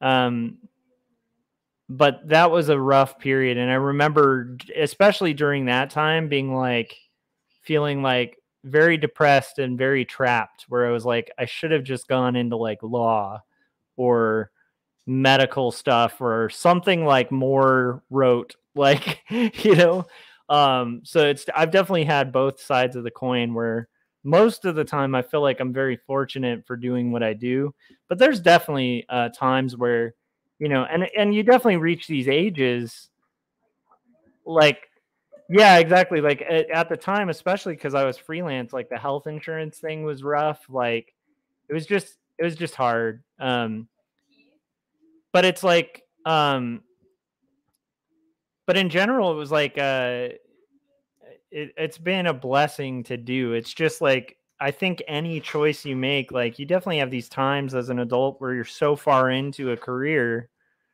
where it's like you really don't have a ton of options to pick other stuff and i think creatives definitely especially cartoonists uh because what we do is so like thankless and I don't want to get depressing or anything, but it's like it, it, it there are definitely times you know, I've definitely had times where I spend it, you know, 5 years on a graphic novel and it comes out and like two people care. where I'm like, why did I why am I doing this? Like why did I spend you know, 5 years of my life on this thing that like four people read and like I can't even get, you know, close friends to be interested in or something. I've definitely had those dark times. I don't know if that makes sense, but I think overall I'm pretty happy with my career choice. And I and again, it's like like Paul was saying, I don't think half the time it really is a choice. It's just sort of where um that's another time where also like my faith helps and stuff as as corny as that is because it's like this is kind of where God like has put me in and and designed me to have these interests um and so I kind of need to just enjoy them. Um, but also, it's a hard career, and it's like there are other careers that are um, simpler, you know. And I kind of enjoy the fact that I have a, a career that's very difficult to do, um, and not everybody could do. And then uh, Frank said, "Thank you, Josh. I enjoyed it very much."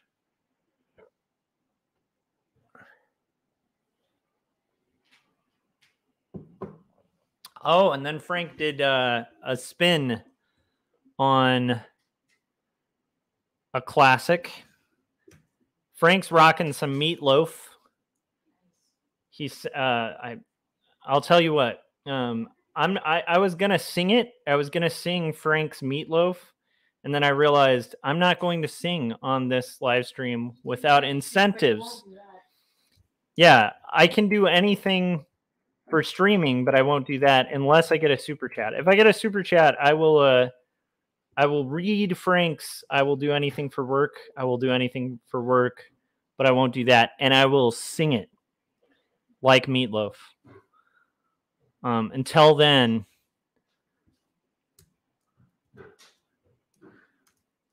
so what do we have here? Frank said, I care about your five year graphic novel, Josh. Uh, it helped me every time I read it. Awesome. That's cool. Thank you, Frank. It's much appreciated, buddy. All right. So, what do we have here? We have.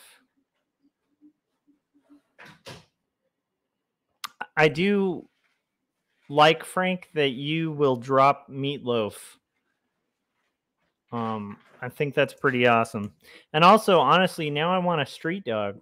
Like just you talking about a Los Angeles street dog brings up like the weird this is the weird thing about LA. Everyone who lives in LA hates LA and talks crap about LA, but if somebody else talks crap about LA, I, I'm sure it's like this for most people but it's like if somebody from outside of Los Angeles starts like crap talking LA, oh my gosh. Ha! I love it. Um Dee Dee said, I will super chat for you not to sing that song. Just buy a cup of coffee. LOL. All right. I appreciate that, Dee Dee. I you know what? I feel like I owe Frank though, so I will have to sing that song. Um Let me see, because I did promise. So I will do anything for work. I will do anything for work, but I won't do that. How did how was that? Was that adequate? I love that song, by the way, and I, I still to this day, I know it's like a long debate by many people, but it's like, what was that? Like, don't you guys wonder what was that? Like, what was the that that Meatloaf wouldn't do? And you got to think Meatloaf at this time in his career, he's a wild man. He's pretty much down to do anything for love. What what was that? You got to wonder. but it's a great song. That's all I'm saying. Uh Frank said I loved it, Josh. Paul said, "Oh my god, that was uh so beautiful." Thank you. Thank you. Thank you. I I am I am trying here. Oh, that's right. Frank said he wouldn't leave her. You know what's funny, Frank? I think I've had this discussion and I thought it was all profound, like trying to figure out what that was. And I think you're right. I think that the song makes it really clear that it's just that's the one thing he wouldn't do for love is is leave her. What a sweet man. What a sweet, wonderful person. All right. So we are drawing some uh some picture frames here. And we are uh singing some meatloaf songs. And what else?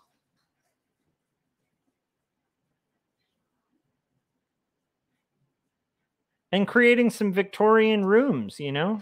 It's it's all quite lovely.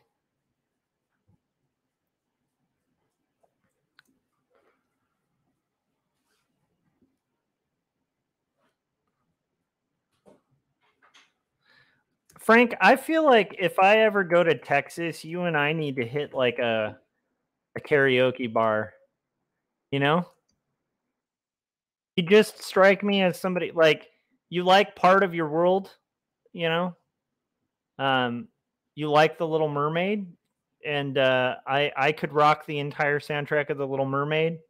Um your taste in like cheesy karaoke music um, matches that of mine. And so I feel like, Frank, I feel like there is some universe where you and I are going to meet up and hit a karaoke bar and just blow the roof off that place. And I think Paul is going to join us. I think this has to happen. Dee Dee, I don't know what your karaoke skills are like, but we gotta we gotta consider this, you guys. Because I do feel like a good, just ridiculous karaoke night is in order, especially, especially, Frank. If you and I meet up, we're gonna have to, we're gonna have to have some karaoke. And I feel bad because I know I mispronounced that, and uh, I know every time I say karaoke, I probably sound like nails on a chalkboard to my wife.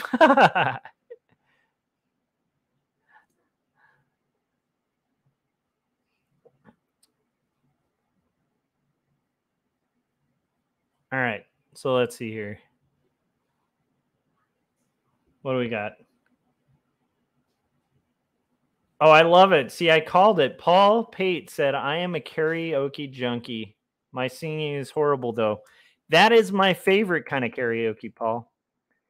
Mine too. I, I I have terrible karaoke singing, and for some reason that gives me even more incentive an impetus to like rock it when I do karaoke because I'm like, this is gonna sound terrible. And I'm gonna lean into it. Dee Dee said, I can't sing at all. That's perfect, Dee Dee. That's perfect. You don't want to sing well and do karaoke. You want to sing horribly. That is the preferable way to approach karaoke. Ha! Frank said, I think I'll listen to that song tomorrow. As they say, meatloaf is always better on the second day. I absolutely love it.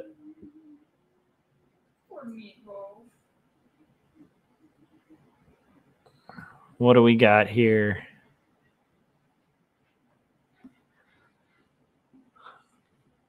People love it when somebody can't sing, but they just go all in. Yeah, that's the trick. That's the thing I think with with karaoke. You just have to like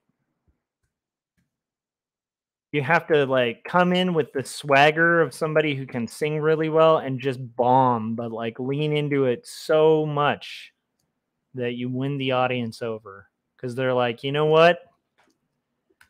They really liked that song.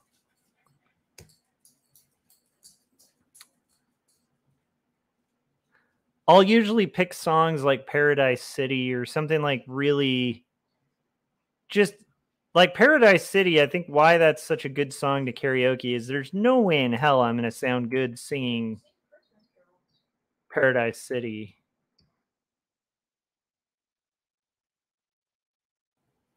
and I think that's why I like to karaoke Paradise City is like something like that that I'm just going to sound awful, but I can just conjure up the gods of rock. Journey is ideal. Um, Mai just mentioned that, and I'm glad she did. Journey is is excellent karaoke material. Patsy Cline is good dive bar uh, karaoke material for sure. Christmas songs may not work so well for karaoke at a bar, but I don't know. My, we'll have to find out. I could see that. I guess around Christmas time, I could see that. My wife loves Christmas songs.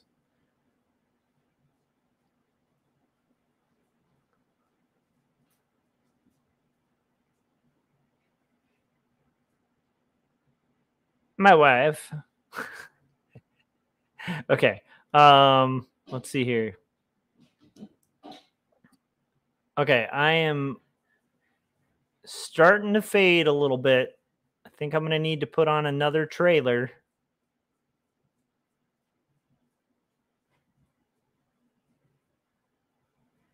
Because I want to finish this page before I eat. And it's going to be a bit. Going to take some time. Not as much time as I had feared. Like, I think this will get done. Oh my gosh, Frank dropped another one where he said, Take me back to the comic book city where the goggles are green and the girls are pretty. And again, can't sing that unless I get a super chat. That's my that's my new my new super chat bait is going to be like when I get a super chat, I'll sing. If I don't, that's that's fine. Um which is sad because I actually really do want to sing that. Um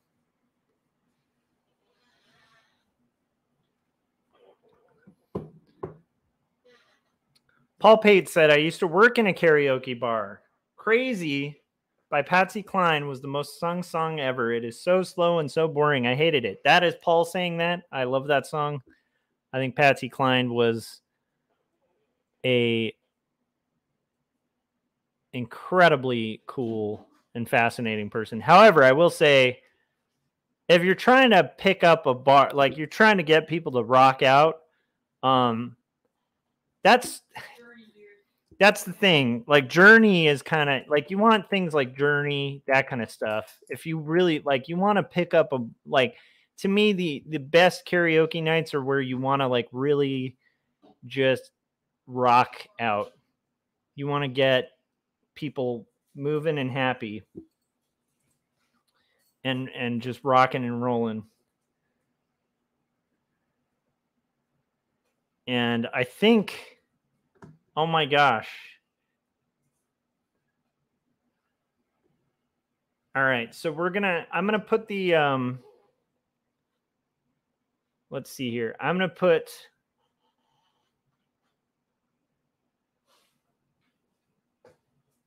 I'm gonna put the uh my brain is blanked out. Okay, so I'm gonna put the trailer for Jacob's apartment. I'm gonna get a refill of coffee.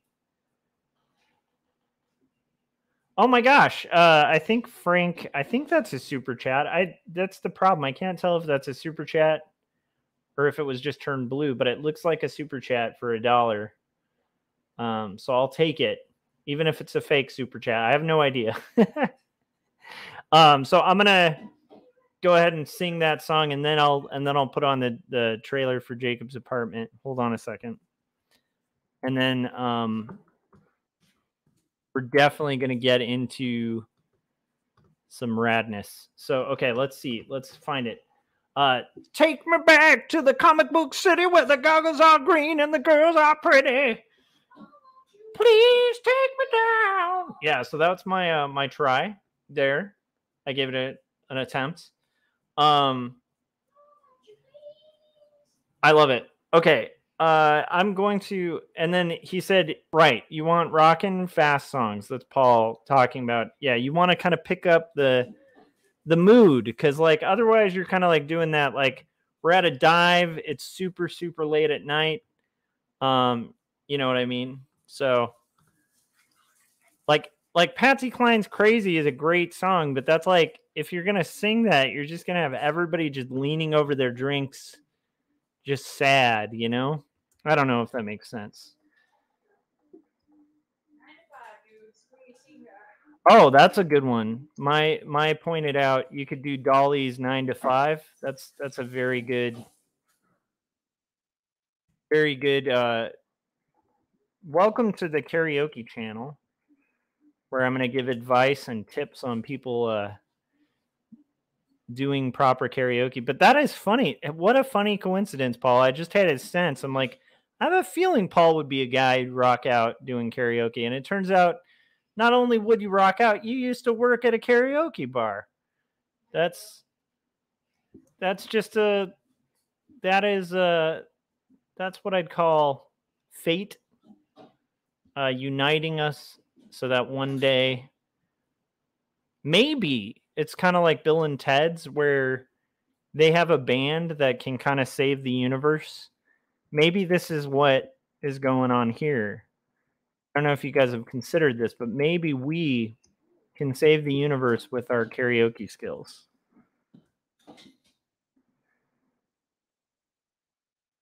I'm just throwing that out there, but I mean, very possible. Okay, I, I owe you guys a, a um a trailer.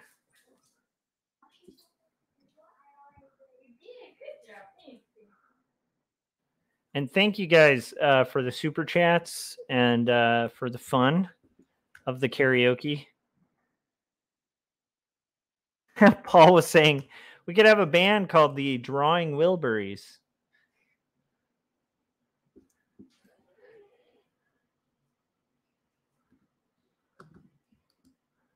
I like it.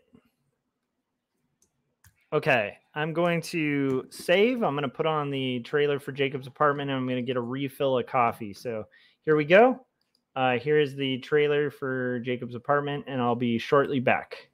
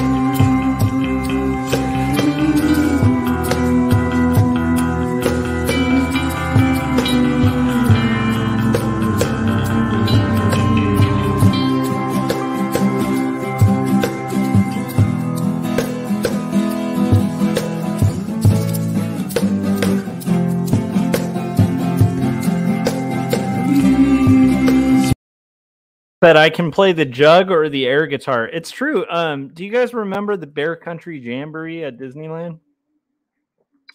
I don't know if you guys were fortunate enough to catch that masterpiece.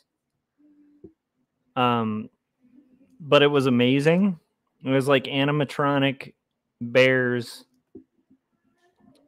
that did a whole like themed show where they would the what? Oh, the, yeah. There's also the Maya actually pointed out. There's also on the Peanuts like the specials. There's Snoopy has these relatives, and one of them plays like the juice harp. Um, and they have like a little jug band whenever they get together. So there's precedent for that, even in the cartooning world. Frank, you could be cool too, like Snoopy. But anyhow, so the uh, Bear Country Jamboree, that's how I imagine what we would do as cartoonists. Um, we do like a whole show set up like the the Bear Country Jamboree, which I'm you know what's funny? Now I want to look that up on YouTube. I bet they have I bet somebody filmed it and put it on YouTube before it was uh retired. Yeah, that was a great show. Yeah, and then Dee Dee said, I can play the drum solo in in the air tonight. Does that count? Does that count? Of course that counts. Um yeah, you could come in and just be like do do do do do do do do do do. Yeah, I think that could work. Wait a minute. I just sang without a super I, I need to keep to my rule here. You guys keep talking about music, you're gonna get free singing. That's a good song for karaoke too. Yeah, in the air tonight would be a great karaoke song. I agree with that. Welcome to my channel where I make cartoons and talk about karaoke. Mom? Yeah? Can you change your clothes here? Frank said we can do rock covers in the style of a country band. I love it. I feel like I don't know how to play this, but I think it would be cool to learn how to play like the um like a wash tub bass. That would be fun. You can make it happen. I feel like if you can do a graphic novel, you should be able to like learn how to do. Oh wow, Dee kicked in 9.99 saying for that uh, drum solo crumble. Thank you. I love it. I, I'm a professional musician today, you guys. This is amazing. I absolutely adore it.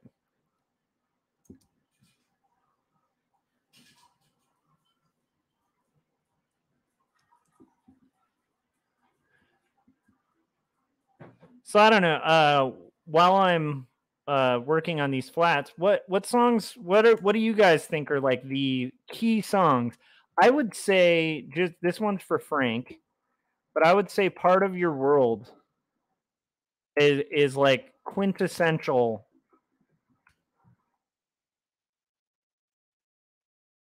Like any Little Mermaid song, but preferably "Part of Your World" is that is like fundamental karaoke 101 has to be sung kind of song.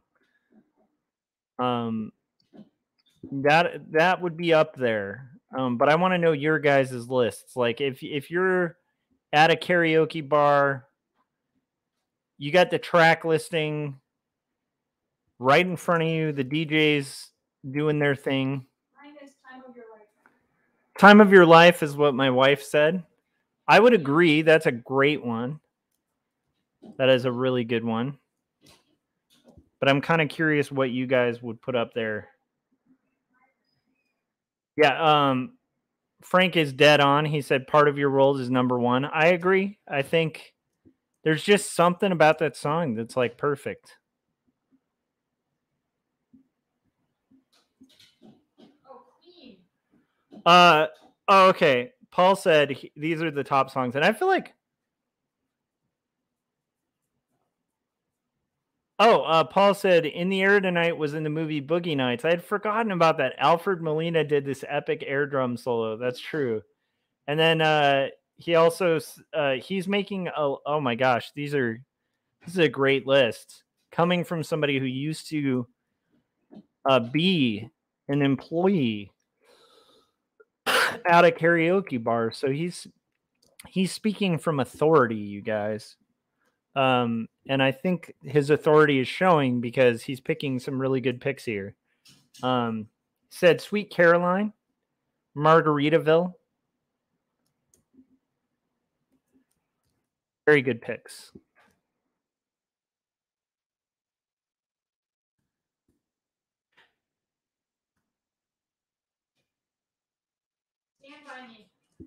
Stand by Me, Maya was saying. That's a good one.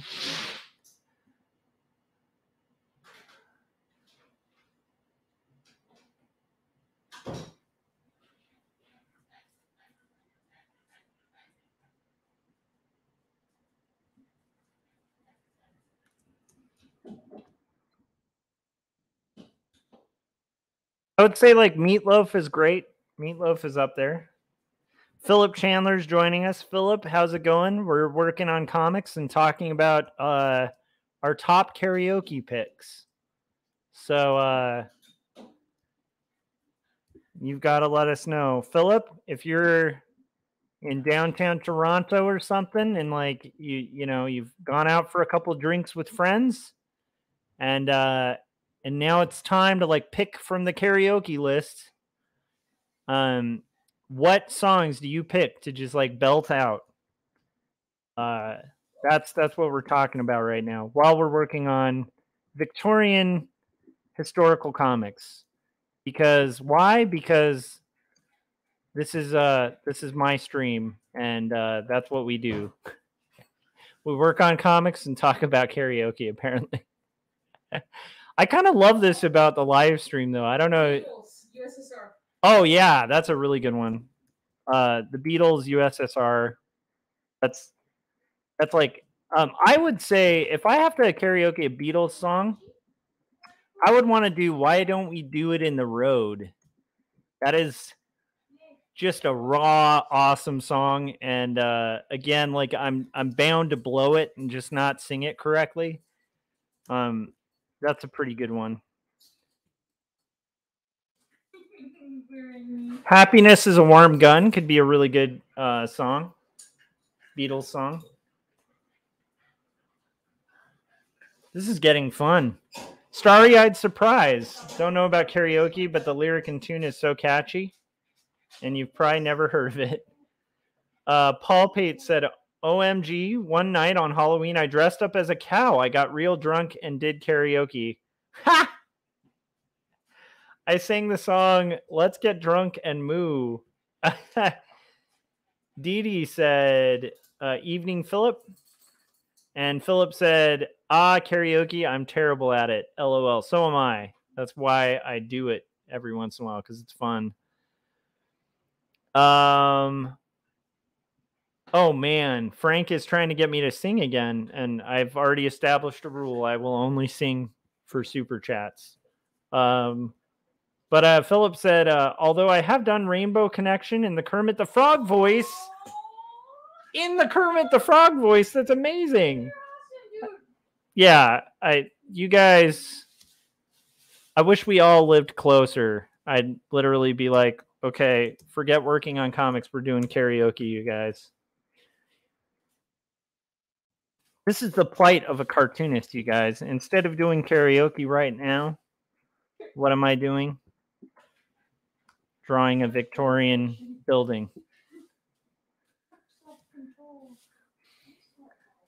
I'll, I'll have to tell people that too. Like if somebody interviews me about comics, I'll just be like, I sacrificed a lot of karaoke for these. But I do like Frank's uh, twist on part of your world, although I will not sing it. I have my singing rules. Um, He said, "Look at these indies, isn't it neat? Wouldn't you think my collections compete? Wouldn't you think I'm a guy, a guy who has everything? I've got two stories and samurai tie aplenty. I love it." And he gave a shout out.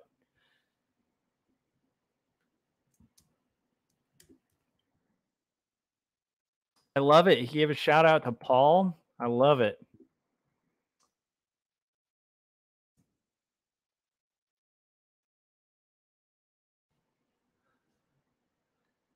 Philip said that would be fun next time you're in Toronto, Josh. Well, I might be. I don't know. I, I we'll see. Um, if I can like afford to make it work, uh, I might come back because TCAF was definitely cool.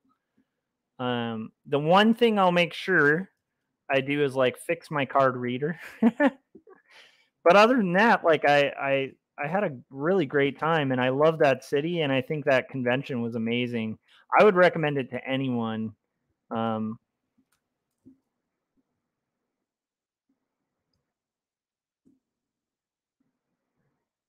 let's see here. Now I want to know everybody's best karaoke memories. Frank's going on with the part of your world lyrics. I love it. I love it. It's all indie comics themed. I'm going to have to read more of them in a second.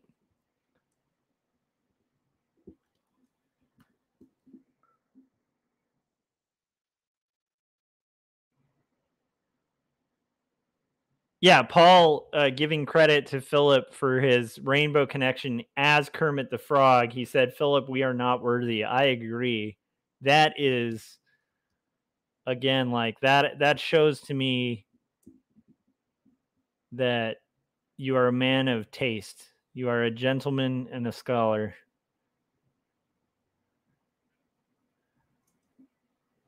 I am really excited about getting this further done said I just got back from a trip to Montreal, um, um blah, blah, blah, to Montreal, Montreal, and Ottawa. Montreal is a really fun city too.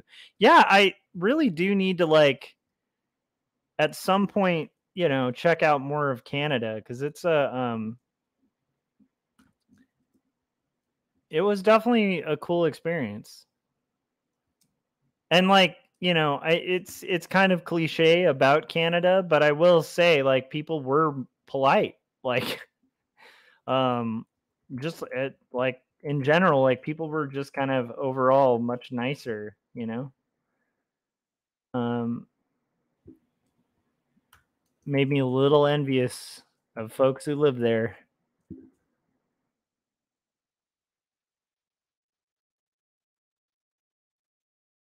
All right so we're almost done with these portraits that's kind of cool. I'll take that. Finishing these portraits.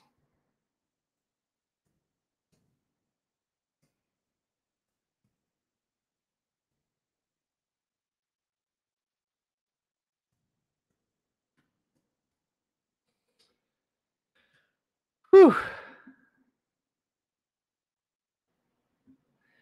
And I and I'm trying to keep the colors consistent with the previous page. Although the exterior is going to be a little bit darker, so I might have to kind of color match and then modify a little bit on those.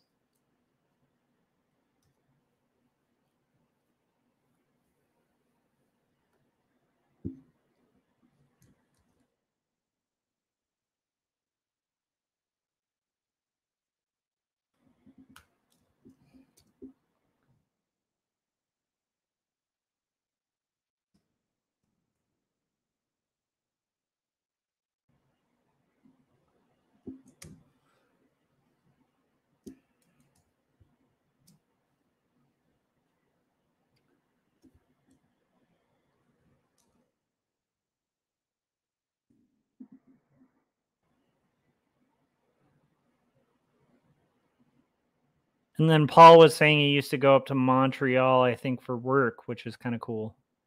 So I believe more of that is being discussed.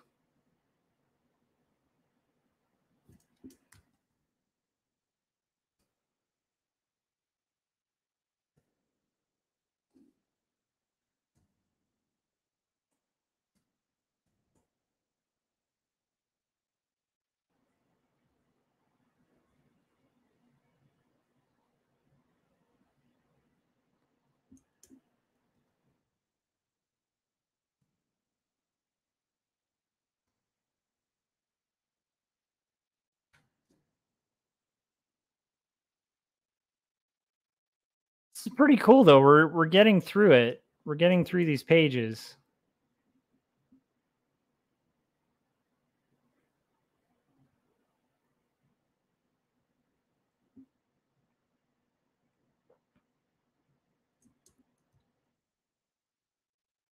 Edie said, I need to head out. Streaming in the morning. Watch the YouTube video of Starry Eyed Surprise by Paul Oakenfold for a smile. I will.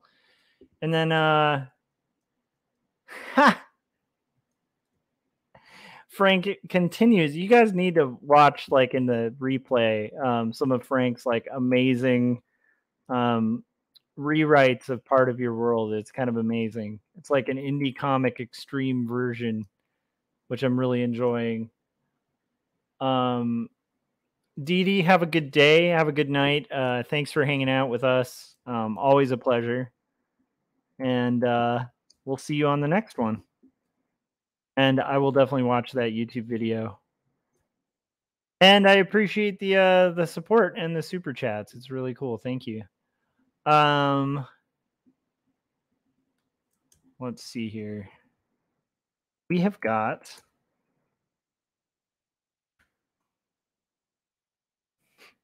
almost the first three panels are almost done. Now here's the catch. If I cannot color these in time to read to my kid, because at eight I read to my son every night. So I might have to disappear for a little bit. Um, around eight o'clock, which right now it is 7:30. So hopefully I can just knock this out before. But if I do have to leave, um, that will be that will be the cause, which I think is a worthy cause. But I'm still feeling pretty good. Like this is a somewhat complicated page. It's not quite as hard as the um, you know, 24 panel pages or whatever. Um, sorry, not 24. I don't know if I've done a 24 page panel. The 16, 4, 8, 12, 6, yeah, 16 panel pages. Landon here. How's it going, Landon? How are you doing? He said, What's up, Josh?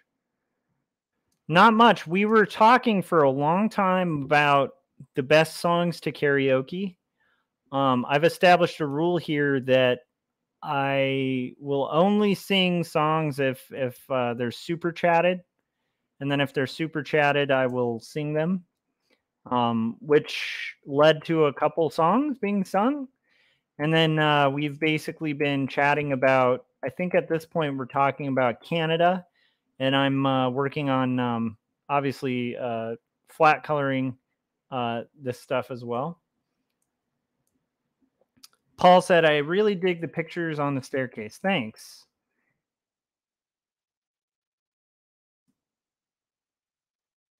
Yeah, it's sort of setting the atmosphere of this um this house.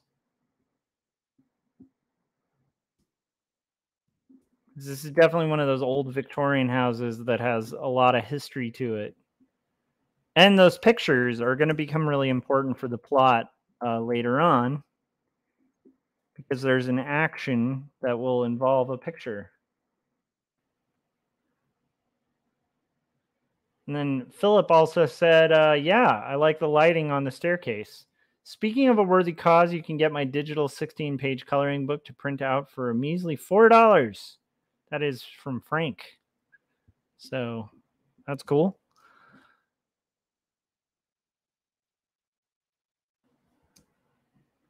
We have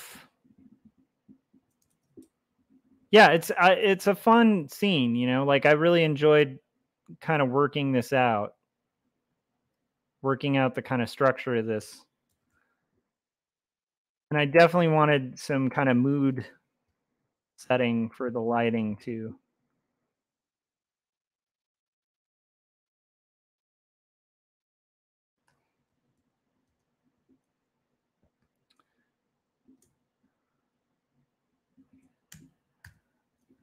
All right. Okay, we have finished three of the panels. And now we just have to do this outdoor sequence. Which is not too bad.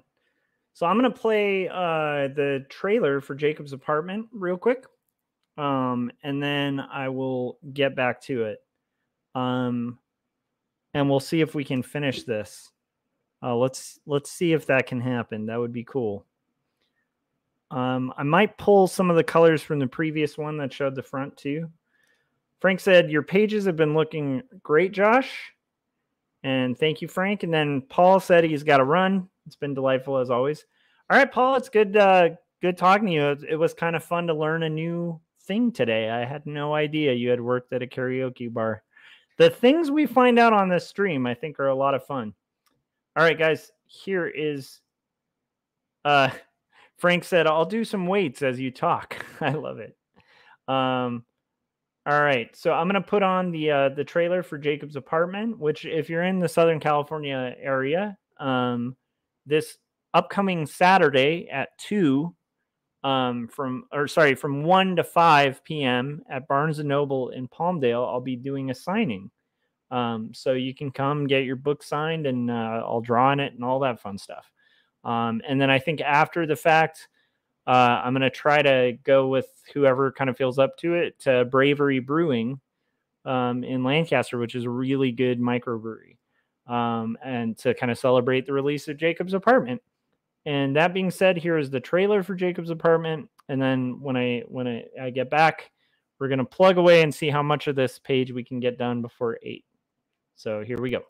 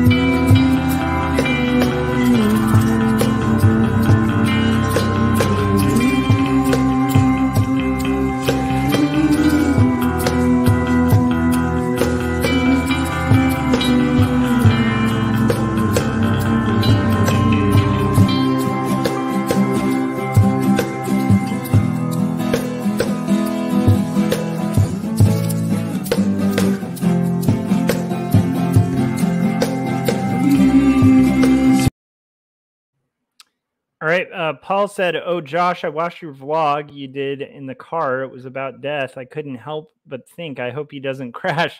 I enjoyed the topic, though. Yeah, there was no intent to crash there. I definitely keep my eyes on the road. Um, where my video is uh, positioned is like really close to the um, to the the front window of the car, so it's it's it's not that hard to like vlog and drive and, and pay attention as I'm driving but yeah, um, it is a good topic. I'm really excited about that topic. Actually, um, as as heavy as it can be, I do think like a lot of artists are really. Um, I think a lot of us um, are very motivated by uh, mortality and like the limited window of time that we have to kind of work within. And so I think that like that's a rife topic um, and it's funny, right after recording it, Gary kind of emailed me and was like, Hey, we should talk about that on his stream on, uh, I think it was going to be this Saturday. And initially I was like, Oh, yeah, let's do it, you know? And then I realized after the fact that I can't because I have, um, I have the signing. But I will say that is a topic that we, I think, very much intend to kind of get into. So, hopefully like Gary and I can kind of dig into it. But I mean, the rough idea behind it is like, you know, that mortality is like a um a, a massive driving factor, I think, for a lot of artists, including myself. Um, you know, in like creating because I think when you realize you have like limited time here, your approach to kind of making art is going to be a lot more sincere like because again like if you have these ambitions to at some point like do a certain book or do a certain thing and you realize that you're running on limited time um then you're going to approach those things with a little bit more urgency. Um and then also you're going to approach characters and your writing i think um, more seriously as well right? Because you're going to like write characters that are aware of this thing that's like a pending thing. I don't know why my pug has lost his mind. He uh as he's gotten older, he just has these moments of like senility where he will just randomly get in a barking fit. And right now he's definitely having one of those. So if you hear that in the background, just picture a pug with their eyes pointing in two different directions as pug eyes do, um, just sort of blindly barking into the ether. But yeah, Paul, I definitely um, that's a topic I think about a lot. I write about a lot, and I think uh, I think it'll be a good one. You know, when I it's like weird. It's like I almost don't want to get too far into it because I think Gary and I will have a really good conversation about it. I think we've had a similar biography in the sense of like um, points in a, in our young adulthood that kind of made us like sort of approach and think about mortality at, at, an age that a lot of people I don't know if they were considering it. And like that had a big impact I think on our art so. I think it's going to be a good topic but that being said um thank you Paul for like tuning in. I hope you have a good night. Um I am starting to realize I'm doing these windows here and I'm realizing this may not happen by the end of the stream because I definitely want to read to my kid. So we have a good 20 minutes. We'll see how far we can get on this uh, bigger kind of panel in the background. Um, and we'll just see how far we can get. There's also some windows here, and I'm it, it it's it's a little hard to tell what is a window and what is not. But I'm pretty sure like that's a window. I think that's a window. And I think that is a window up there. And then I think similarly, like over here, we got some windows. We got some windows.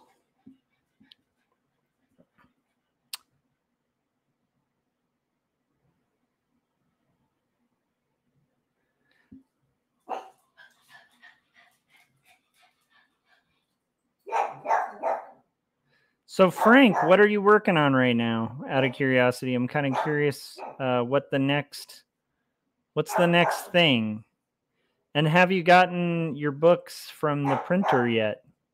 Those are my two kind of curiosities right now, I guess. Um, do you guys hear that? My my nutty, my nutty uh, pug in the background.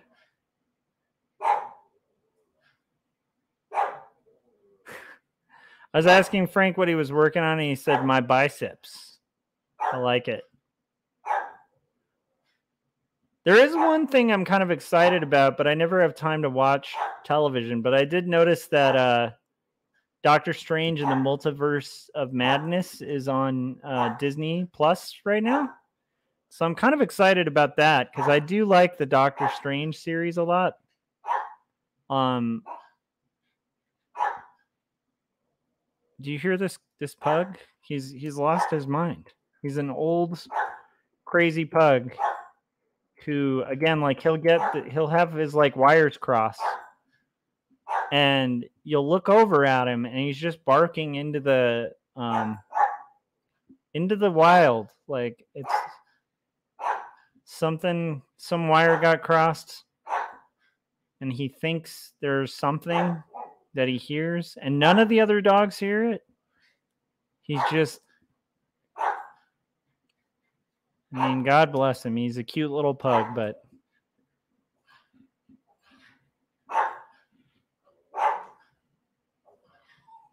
Frank said there's been delays on his book, um, but he's hoping to hear more this week. Yeah, I mean that makes sense, especially with the, uh, you know printing delays and stuff are kind of part and parcel. That's just sort of the life of offset printing in particular right now. That's got to be like immensely hard for publishers right now too. Um, I mean, everybody in the world right now is dealing with just crazy supply chain issues, you know. But like, when you think about just printers having to kind of deal with that,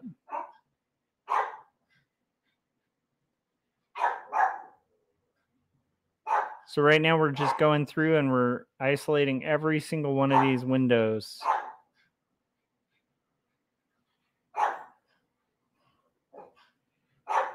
He said, I've been doing some fan art. Uh, sketch out the comic about the muscle guy who gets scared by a bug. I already made a thumb, but I can't find the file, so I'm going to redraw it. I love it.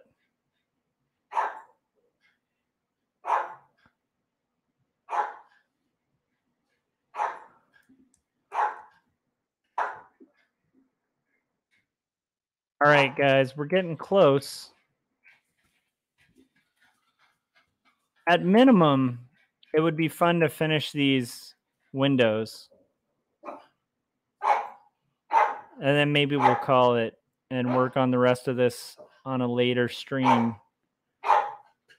I will probably come back on and stream in a little bit. Um, so if you guys are up or around, uh, let me know and make sure you're subscribed and you've hit that bell uh, so that you'll get a notification when I'm about to go live.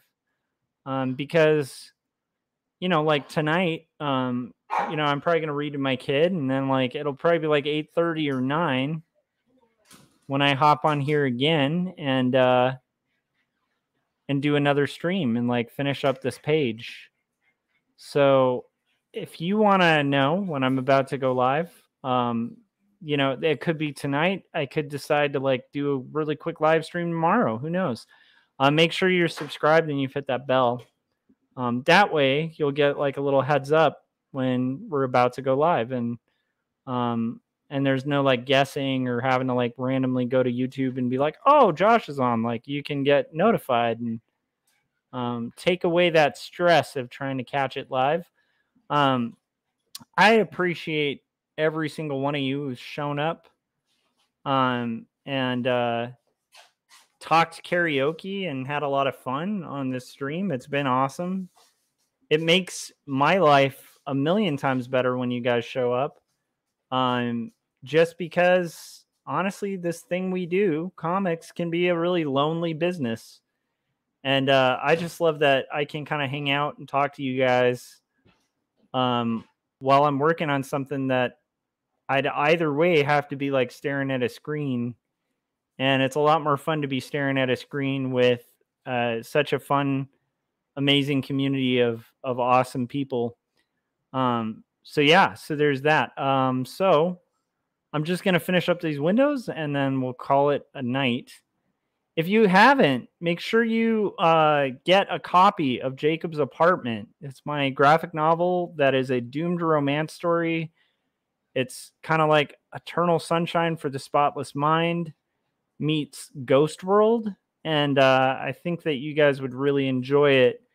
If it, it's pretty much age appropriate for anyone 16 or up, um, and it's out right now from Graphic Mundi. And if you want, you should just go to your local bookstore and just ask that they carry it.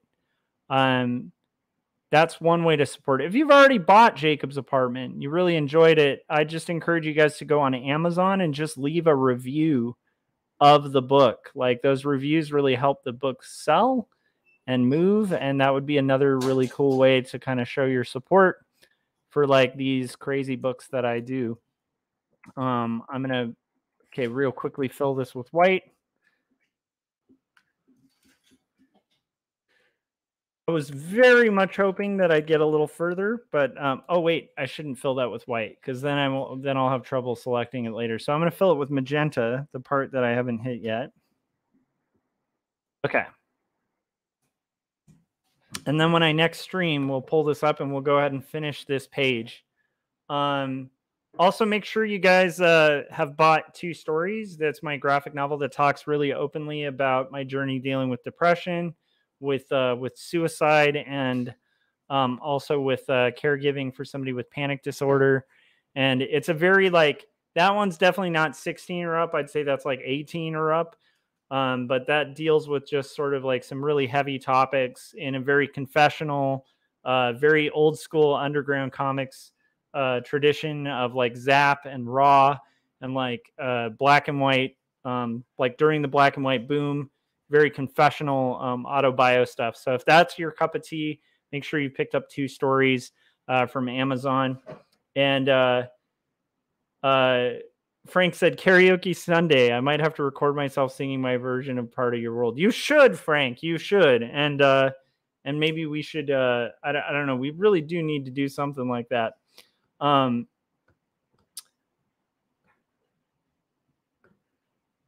what else did Frank say? I think he said something really silly earlier. Oh, he said I did an alien in honor of Gary, Wildcat for CB Smallwood, and a female version of Berserkernaut for uh, Jeff. I also did a mask woman sketch the other day. I've been working daily for almost a month and feeling healthy. Good for you, Frank. Um, I think. Oh, and then uh, Landon was was saying, uh, "Did you enjoy the convention?" I did. TCAF was an incredible. It was uh, unbelievable. Um, Canada is amazing, and like there's so many. I, I don't know. It was just super inspiring. Um, and I'll I, I can kind of get into that when I stream later tonight, um, and finish up this page. Uh, and then um, Frank also said, "So not for my 11 year old." No, I don't think either of these books are appropriate for an 11 year old. I yeah, I think 11 would be pushing it.